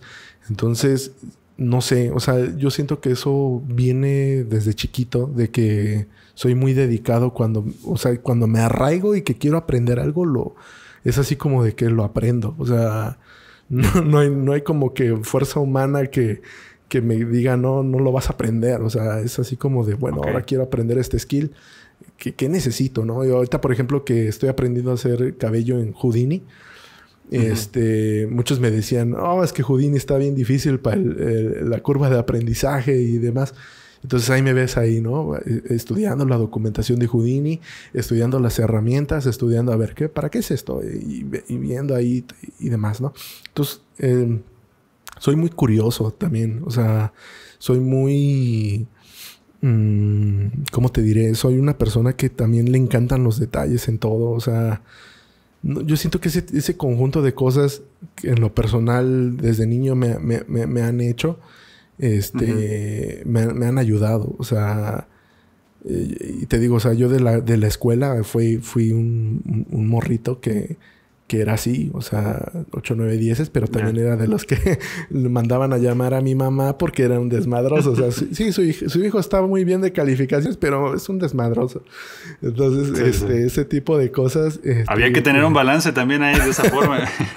sí, no, y te digo, o sea, realmente fue, fue eso, este, que lo, lo, que me, me, ha llevado. Entonces, aunque no tenía un back, te digo, de, de, una, de un artista como tal, o sea, fue el hecho de, de, poder practicarlo. Ok, ok. No, pues está, interesante. Sí, tenía esa, esa, esa, curiosidad y digo, qué padre, ¿no? Que, que, que, seas tan enfocado, ¿no? Porque a veces a, algunos hace falta, pero pues bueno, lo mismo, cada quien sabe dónde apretar. Sí. ¿Qué, ¿Qué, sigue para Lim? No sé. Yo siento que lo decía ya estuvo bueno, pero yo podría decirte ahí me muero. pero mira, Hace poco invité a unos amigos aquí a mi casa, a tu casa. Este. Estábamos platicando justamente algo muy similar de lo que comentas ahorita, que sigue, ¿no? Este, porque, por ejemplo, te digo, él ahorita es director de arte de Mighty. Este, y, me decía, bueno, ¿qué, qué onda? O sea, ¿qué, qué, qué, le tiras o qué le apuntas entonces? Y yo así como de jubilarme joven. jubilarme joven. No sé, yo, yo me veo como. como un artista tipo plástico, ¿sabes? O sea, quiero levantarme. Quiero levantarme, hacer mis piezas y, y, tal vez venderlas. O sea, vivir de. O sea, aunque ya vivo, afortunadamente, gracias a Dios, de mi arte. Este, y de lo que hago, de mi trabajo. Este. Quiero. Quiero esa, ese tipo de, de. No sé, o sea, para mí sería como que ah, me voy a levantar hoy a las 10 de la mañana y, y este y voy a hacer una pieza, ¿no? Y dedicarle su tiempo y, hacer la escultura bien y, ese tipo de cositas. Digo, para lo mí, o sea, te, digo, o sea, el enfoque de cada artista es muy diferente en lo personal. Claro. Para serte bien sincero, o sea, mi, mi, mi, mi enfoque no es como trabajar en un estudio grande. digo, incluso porque ya he tenido las ofertas ya de estudios grandes y no me he ido. Pero te digo, o sea, mi, mi enfoque mi enfoque es como ya ser más de ese tipo de artistas, como de esos artistas plásticos que ya se quedan en su taller, que están chambeando en su taller y empiezan a hacer cosas. Ajá, o sea, en lo personal eso, eso, sería como lo ideal para mí. Sinceramente, o sea, sería como mi sueño para, para hacerte bien sincero. No, te, entiendo, ¿eh? te entiendo, te entiendo, te entiendo perfectamente bien. O sea, eh, me, me siento identificado, paso por una situación similar donde trato de encontrar un balance en el cual el trabajo que hago o lo que me gusta puede ser algo que sume, pero quiero tener en lo particular más tiempo para mí, ¿no? Para lo que sea, pero quiero estar más tranquilo. Entonces, eh, entiendo tu punto, ¿no? Y claramente cada quien tiene diferentes expectativas o diferentes este, eh, metas, ¿no? Y están también súper bien. Entonces, lo que sea, ¿no? Lo, que, lo que te haga feliz, pues está, Está bueno, ¿no? Pero entiendo, entiendo a lo que te refieres. Sí, lo que te haga feliz, o sea, lo que te haga feliz es lo que te va a llevar a tu estabilidad, o sea, realmente. O sea, créeme que a mí si me dijeras qué cambiarías, o sea, cambiarías estar un año trabajando, por ejemplo, en Double Negative, a, por ejemplo, ver a tu hijo de cerca, ver cómo aprende a andar en bici o andar en, o a caminar incluso. Puta, o sea, te lo digo porque me pasó con, digo, con mi primer niño. O sea, estaba en huevo y a mí no me tocó verlo caminar. O sea, a mí me tocó verlo caminar desde el celular. O sea, mi, mi, señora agarró, lo grabó y me dijo, mira, ya está aprendiendo a caminar. Y dices, madres. O sea, y ahora te digo, o sea, fue un golpe duro para mí. Donde yo, yo agarré y dije, no, ¿sabes qué? Y te digo porque en huevo yo tenía un contrato hasta el 2000, hasta de hecho terminando la película del gallo. O sea, estoy hablando de que tenía un contrato con tres películas y nada más hice una por eso, porque yo no aguantaba ver a, o sea, estar lejos de mi hijo y que pasara tantas cosas importantes en su infancia que, que sinceramente eh, digo, todos nos vamos a morir en algún momento y al menos me gustaría que mi, hijo me recordara y me dijera, bueno, mi papá estuvo en los tiempos cuando yo, yo lo necesitaba, ¿sabes? Eh, mi papá esto y aquello. Y ahorita, por ejemplo, que lo veo con, mi chaparro, este, con mi enano, el, otro niño, este... que ya lo vi yo caminar, que, que, yo lo vi correr, que yo lo vi ya ahorita querer saltar, o sea, es una alegría inmensa para mí porque estando yo acá en la casa, este, trabajando donde yo quiero estar, trabajando para las marcas que yo quiero estar, lo estoy logrando, pero estoy cerca de mi familia, que es algo que no voy a cambiar jamás, por nada, o sea, te lo juro. Entonces, te digo, o sea, ya depende del enfoque de cada persona. Lim, pues con, con eso nos despedimos. Te agradezco un montón el eh, el, abrirte con nosotros, ser tan transparente, se aprecia un montón. Muchas gracias otra vez por este tiempo que nos aventamos este, un ratito y, agradecemos eso un montón. Eh, muchas gracias por, este espacio. ¿Hay algo más que quisieras agregar? Pues técnicamente lo único que quiero agregar es de que la sigan rifando. México tiene muchísimo para dar y el mundo tiene que saberlo. Entonces sigan adelante muchachos y que nadie los apague. Eso es todo, Lim pues nos despedimos con eso también. Muchas gracias otra vez. Nos vemos en la próxima, Lim. Sale, gracias a ustedes. Hasta luego. No se vayan, para los que pensaron que ya había terminado, aún hay más. Te digo que, yo vengo del diseño gráfico, o sea, te digo, yo salí de, una universidad cuatrimestral y fue así como de este, ya sabes, ¿no? De esas universidades que terminas en tres años o dos años y medio y, y vámonos, ¿no? O sea, va a ser talacha. Llegué acá a Morelia, empecé a, trabajar como diseñador gráfico y demás, pero no, no tenía ni idea de qué, qué onda, ¿no? O sea, Morelia es muy pequeño realmente, entonces mi primer trabajo acá en Morelia fue, fue así de, este, de dos mil pesos. O sea, a mí me pagaron dos mil pesos el primer mes haciendo ilustraciones para, para un libro infantil. Y yo tenía que pagar una renta como de tres mil quinientos. ¿Cómo le hicimos? Mi esposa y yo, quién sabe. Pero la, la pudimos sacar. Estuve así, estuve trabajando como diseñador gráfico. Después me cambié a un despacho que le trabajaba al gobierno municipal. Empecé a hacer carteles este, que, que ganaron varios premios de diseño. Y este, el hecho fue de que la persona esta, la dueña del, despacho, no le gustaba que me empezaran a buscar por los carteles, porque los carteles empezaban, al, por ende, al ser de turísticos, de turismo de, de, la ciudad, empezaron a tener exposición, obviamente, en varias partes del mundo, porque la Secretaría de Turismo mandaba los carteles a Michoacán, perdón, a, a, Estados Unidos, Canadá, etcétera, ¿no? Posteriormente, cuando eh, pasamos a trabajar de gobierno municipal a gobierno del estado, me tocó hacer carteles ya turísticos del estado y fue cuando a esta persona ya no le gustó este que me empezaran a buscar de más. No sé por qué, sinceramente no sé por qué, pero me decía este no no no quiero que te busquen más. Este, cancela todas las entrevistas. No no no quiero que sepan que trabajas aquí. Y yo así como de, pues, no sé por qué, ¿no? O sea, después ya supe por qué. Tenía sus, sus trapillos bajo el sol. Pero este, no, no quería como que esa atención. Entonces, una vez, eh, me acuerdo mucho de la fecha porque fue cumpleaños de, de, mi esposa, el 11 de enero. Este, yo ya tenía mi chaparro al primero. Este, él ya tenía, él nació en octubre, noviembre, diciembre, enero. Él ya tenía tres meses de nacido. Y llego al trabajo, este, y está ahí el, el que cuida la entrada y me dice, no puedes entrar, Lim. así como, ¿por qué? Y me dice, este, es que el jefe dijo que no puedes entrar, que, que tú ya estás despedido. Y yo dije, ah, cabrón, o sea, ¿por qué? Entonces eh, le dije, bueno, o sea, al menos déjame pasar por mis cosas, déjame pasar por mi, mis Tenía unos audífonos, unos Sony, estaban bien cool. tenía mi, mi este de agua, mis termos, mi, libreta de sketches, o sea, todo lo tenía ahí. Y me dijo, no, es que tú aquí ya no tienes nada. Y así me dijo el jefe, ¿no? Y así como de madres. Entonces, pues la verdad, me quedé así. Dije, bueno, voy a esperar a este man y, y que me diga por qué. Pues por qué, o sea, qué, qué, qué pasó.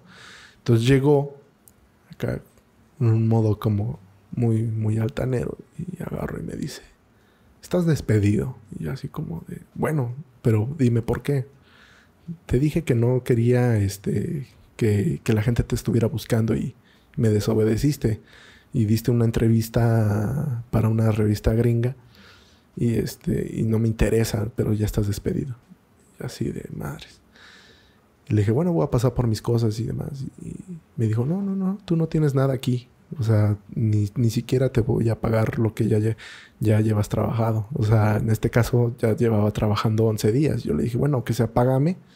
Porque yo dije, si me paga estos 11 días de que comenzaron el mes, pues ya al menos ya saco para la renta. Pues yo pagaba 3.500 de renta. Y me dijo, no, no te voy a pagar nada. Y hazle como quieras y a ver quién te ayuda. Y yo así como de, no manches, le dije, no, pues es que al menos págame los 11 días de que, de que era, ¿no? Porque, pues la verdad, o sea, no tengo nada, o sea, y no, no te miento, o sea, yo en el banco nada más tenía, creo yo como unos 4.500 o algo así. Y la renta, te digo, fue 11 de enero y la renta la, la cobraban el 15. O sea, y que no me pagaran esos 11 días, o sea, sí me daban la madre. Entonces me dijo, no, no, no, y, hazle como quieras, o sea, denúnciame lo que tú quieras, pero nadie va a hacer nada. Y yo así como de chale. Y pues ya, me, me sacaron, no, puedo decir como que me salí, me sacaron. Y afuera del, del, despacho, pues la neta, o sea, donde lo he platicado, donde me, me han dicho y así, pues yo no tengo pena en decir de que la neta lloré. O sea, lloré bien machín porque vinieron muchas cosas a mi cabeza, ¿sabes? O sea, vinieron cosas así de, o sea, madres, viene la renta el 15. Eh, mi bebé, o sea, la comida, o sea, un bebé es una responsabilidad enorme. O sea, tienes que pagar pañales, tienes que pagar su leche, tienes que pagar esto. Obviamente la comida, ¿no? Entonces es así como de chale. O sea, vinieron muchas cosas a mi cabeza. Yo me. El mundo se me vino abajo, cabroncísimo. O sea. Yo, la verdad. O sea, si no te digo que. que pensé lo peor para mí. Es poco. Porque sinceramente no veía un. Pues a nada. O sea, realmente yo decía, madre, ¿qué voy a hacer? Y mis amigos llegaron, yo me acuerdo que llegaron, eh, mis colegas diseñadores.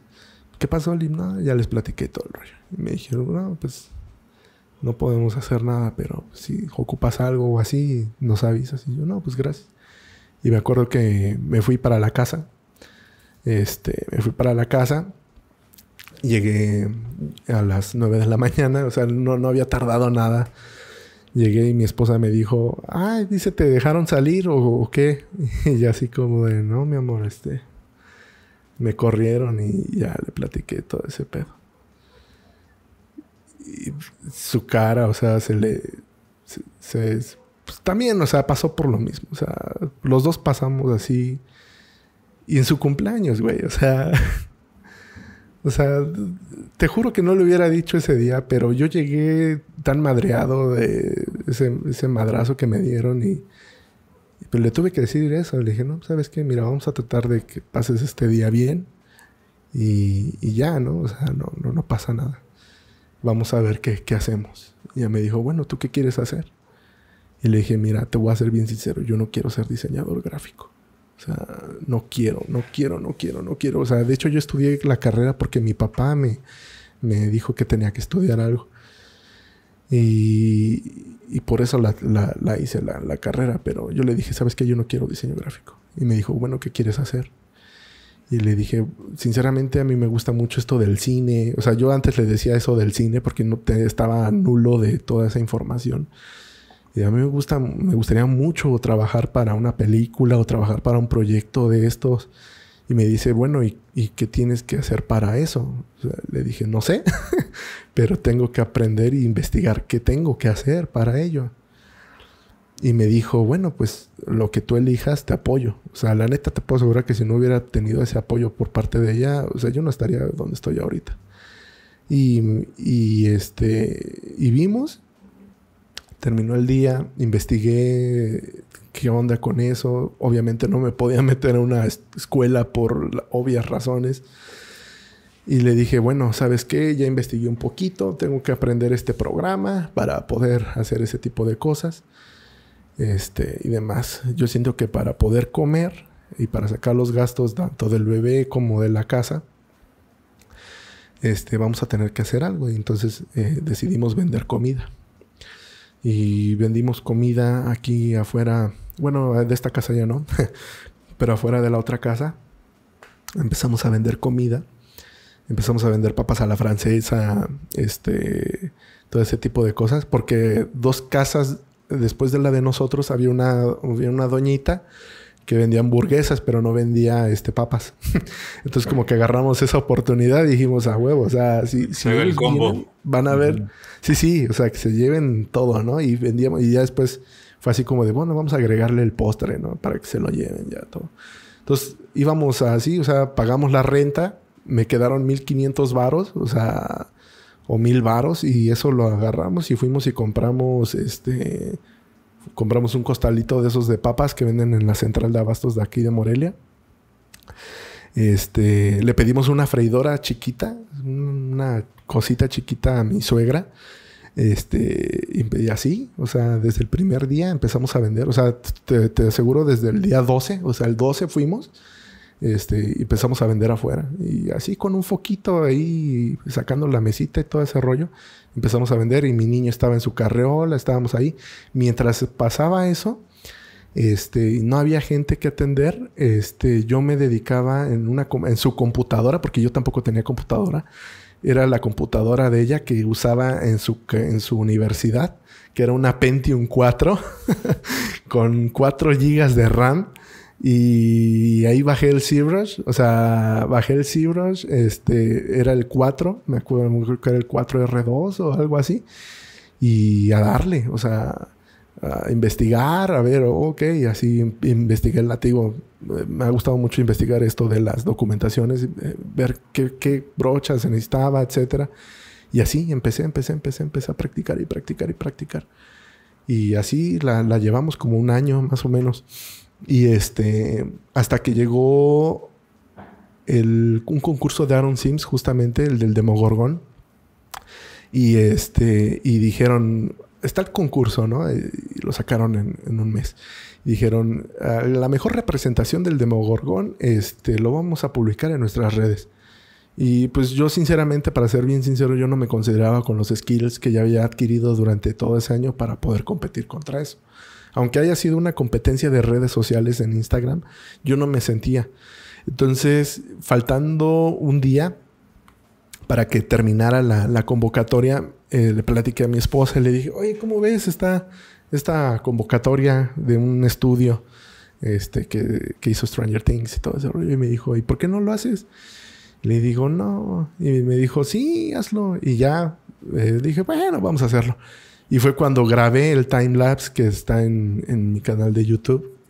Que este son cuatro. De hecho, o sea, fue una, fue una un volado que lo grabara porque sí dije, bueno, voy a grabar. Quiero grabar con mi proceso de principio a fin. Y lo grabé, lo edité, subí la pieza a Instagram y yo ya veía que otras piezas de otros artistas ya llevaban que el mi likes y que la jodida. Y yo dije, no, o sea, yo lo hice, por eso te digo, o sea, lo de no hagas arte por likes, porque yo sinceramente yo ya iba derrotado, yo ya iba como partido de madre, porque yo decía, pues es que si este dude ya tiene mil likes, o sea, y tiene muchísimos seguidores, o sea, literal mi canal de mi, mi Instagram lo abrí con esa pieza, casi, casi. Entonces, cuando lo, lo dije, bueno, pap, lo posteo lo posté y al otro día Aaron Sims me mandó un mensaje, un inbox de, esto. Y yo dije, ah, cabrón, pues, ¿qué pedo? Y en el mensaje decía, felicidades, congrats, you are the winner de Aaron Sims Contest. Y así como de, ah, madres. y yo así, no manches, es spam, ¿qué pedo? Eh, ¿Quién me está spameando? Eh, y fue así y ganó, ganó la pieza. Eh, la oportunidad fue de que pude conocer como que virtualmente a Aaron Sims. Para mí, obviamente, porque yo seguía su carrera, yo sabía lo que había hecho, cómo trabajaba en la industria y todo eso. O sea, yo me sentía soñado, cabrón. Y este, y platicando con él, así fue así como de, no, pues sigue adelante y cosas así, ¿no?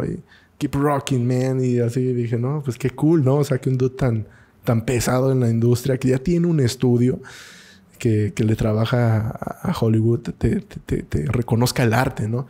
Y la neta, eso me impulsó porque eh, después de eso, de que ganó, ah, obviamente Aaron Sims publicó la pieza y llegaron las entrevistas. Llegó, llegó la editora de CG Society y me dijo, Lynn, eh, necesito una entrevista contigo. Este, y, le hice la entrevista. Después vinieron otras revistas. Vino este, 3D Artist, este, todas estas revistas que se dedican a, todo este rollo. Y me empezaron a entrevistar. Y la gente empezó a ver mi, o sea, los reclutadores empezaron a ver mi trabajo. Y fue como comencé. O sea, mi carrera, se podría decir que es a partir de esa pieza que comenzó mi carrera. Pero ya a este punto de la vida, yo le doy gracias a la vida de que me hayan corrido de esa manera, que me hayan corrido de ese, de ese rollo, porque te puedo asegurar que si no hubiera sido así, yo no hubiera estado donde estoy. Y es ahí donde dices, bueno, las cosas pasan por algo, ¿no? Como dicen. Y, y, es muy raro porque muchos dicen, bueno, imagínate un efecto mariposa donde no te hubieran corrido, hubieras seguido cómodo con tu sueldo eh, de diseñador gráfico, ¿qué hubieras pasado hasta ahorita?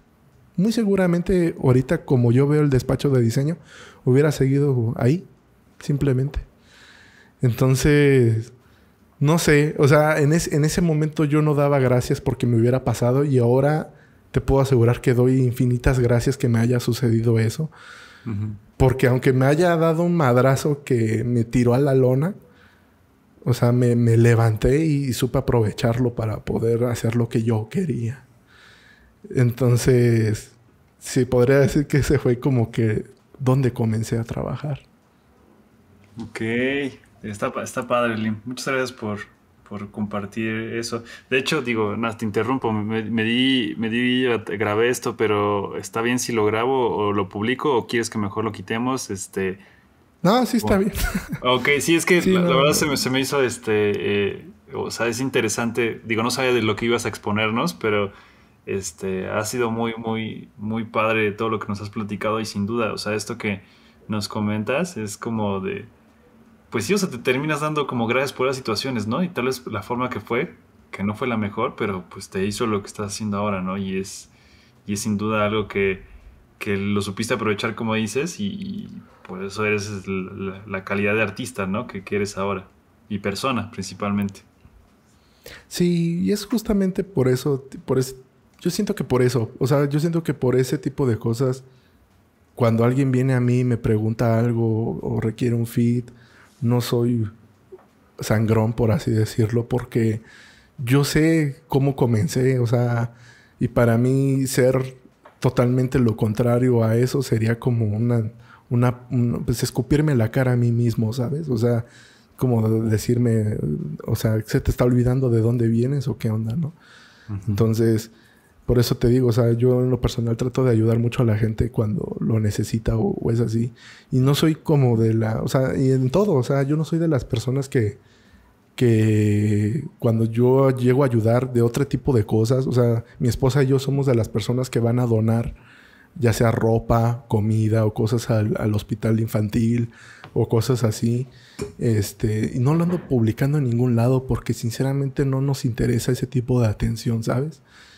O sea, somos una, creo que entre los dos somos personas que sabemos lo que la, la gente puede obtener de beneficio tal vez si tú los apoyas. Entonces, eh, te digo, o sea, por eso, por eso mismo a mí, a mí no me interesa eso de, de llamar la atención ni, ni, cositas así, porque no está en mí, o sea, y no está en mi finalidad, por así decirlo.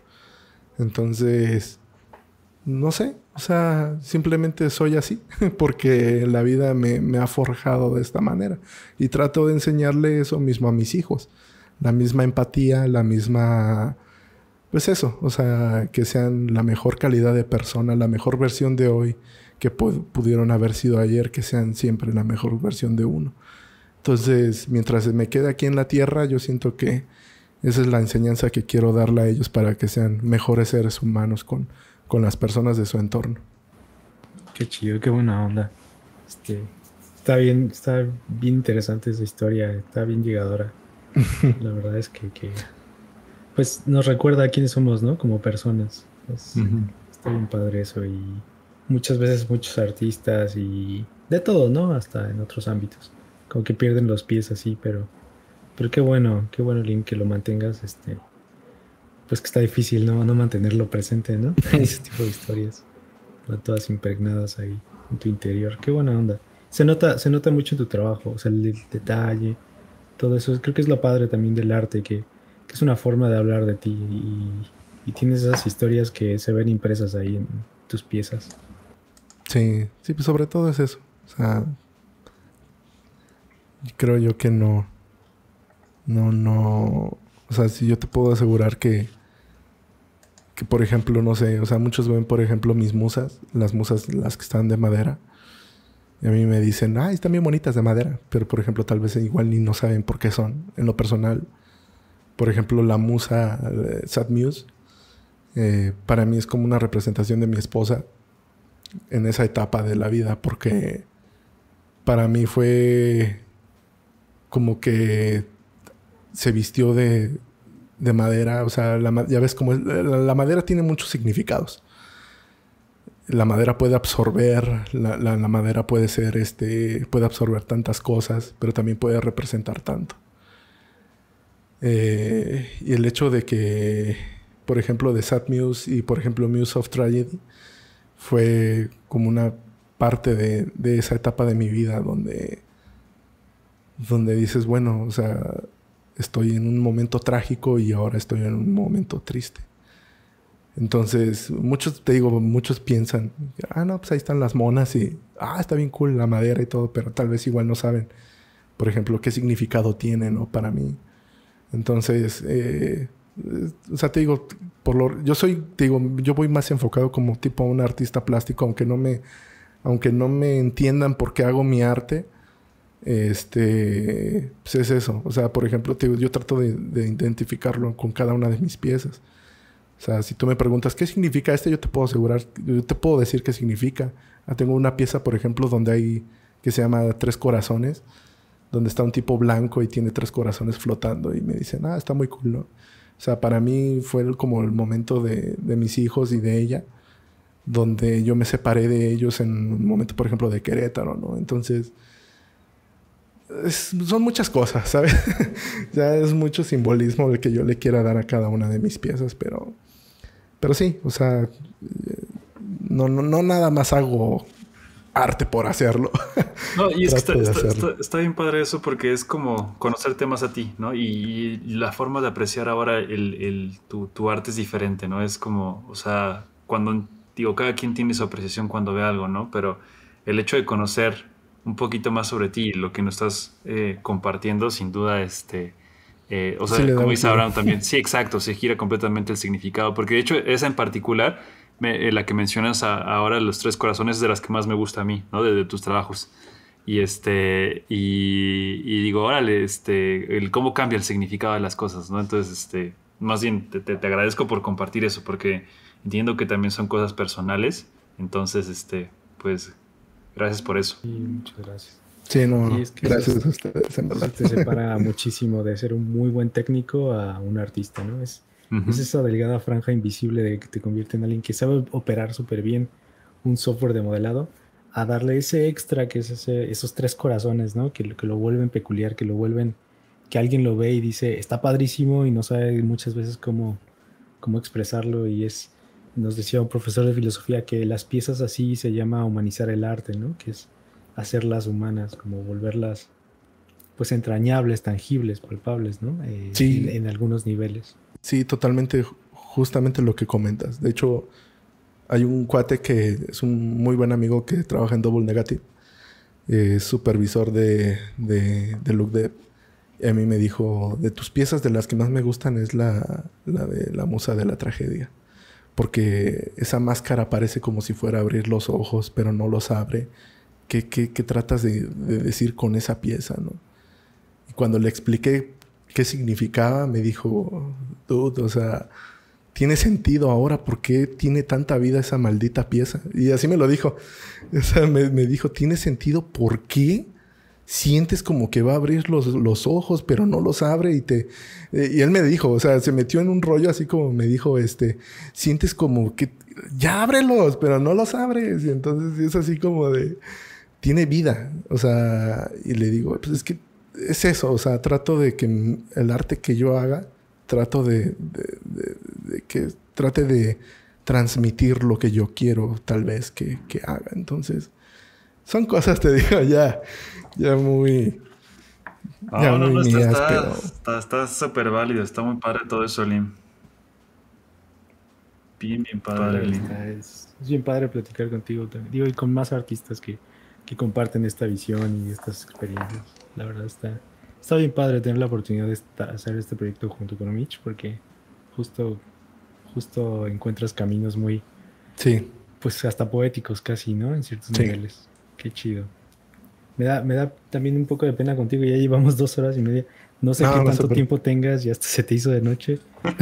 Eh, pero de verdad que no es en balde, ¿eh? No, no, Por suerte en el podcast también hemos tenido feedback bien inspirador que nos mantiene en seguir, ¿no? Después de ya un rato y bien agradecidos, Lim. No, pues yo la verdad con ustedes por el espacio, en verdad. O sea, sigan haciendo este tipo de proyectos porque sinceramente son este tipo de proyectos los que hacen falta. O sea, es lo que dijimos, ¿no? O sea, si queremos, creo, tal vez competir, tal vez con los, con los brasileiros, en algún momento tenemos que unificarnos como industria. Y este tipo de cosas este tipo de proyectos te ayuda a que se unifique más la industria porque ya conoces más gente, ¿sabes? O sea, conoces todas las manos que andan laborando en todo eso, ¿no? Entonces, así la gente ya sabe cómo, cómo es la onda, cómo es la tirada. Y pues eso, o sea, nada más de que los nuevos que vienen este, pues se vayan encaminando a, lo que a lo que podemos llegar a hacer. Claro, así. Pues muchísimas gracias. No, ¿de qué? Cualquier cosa, pues ya saben, ¿eh?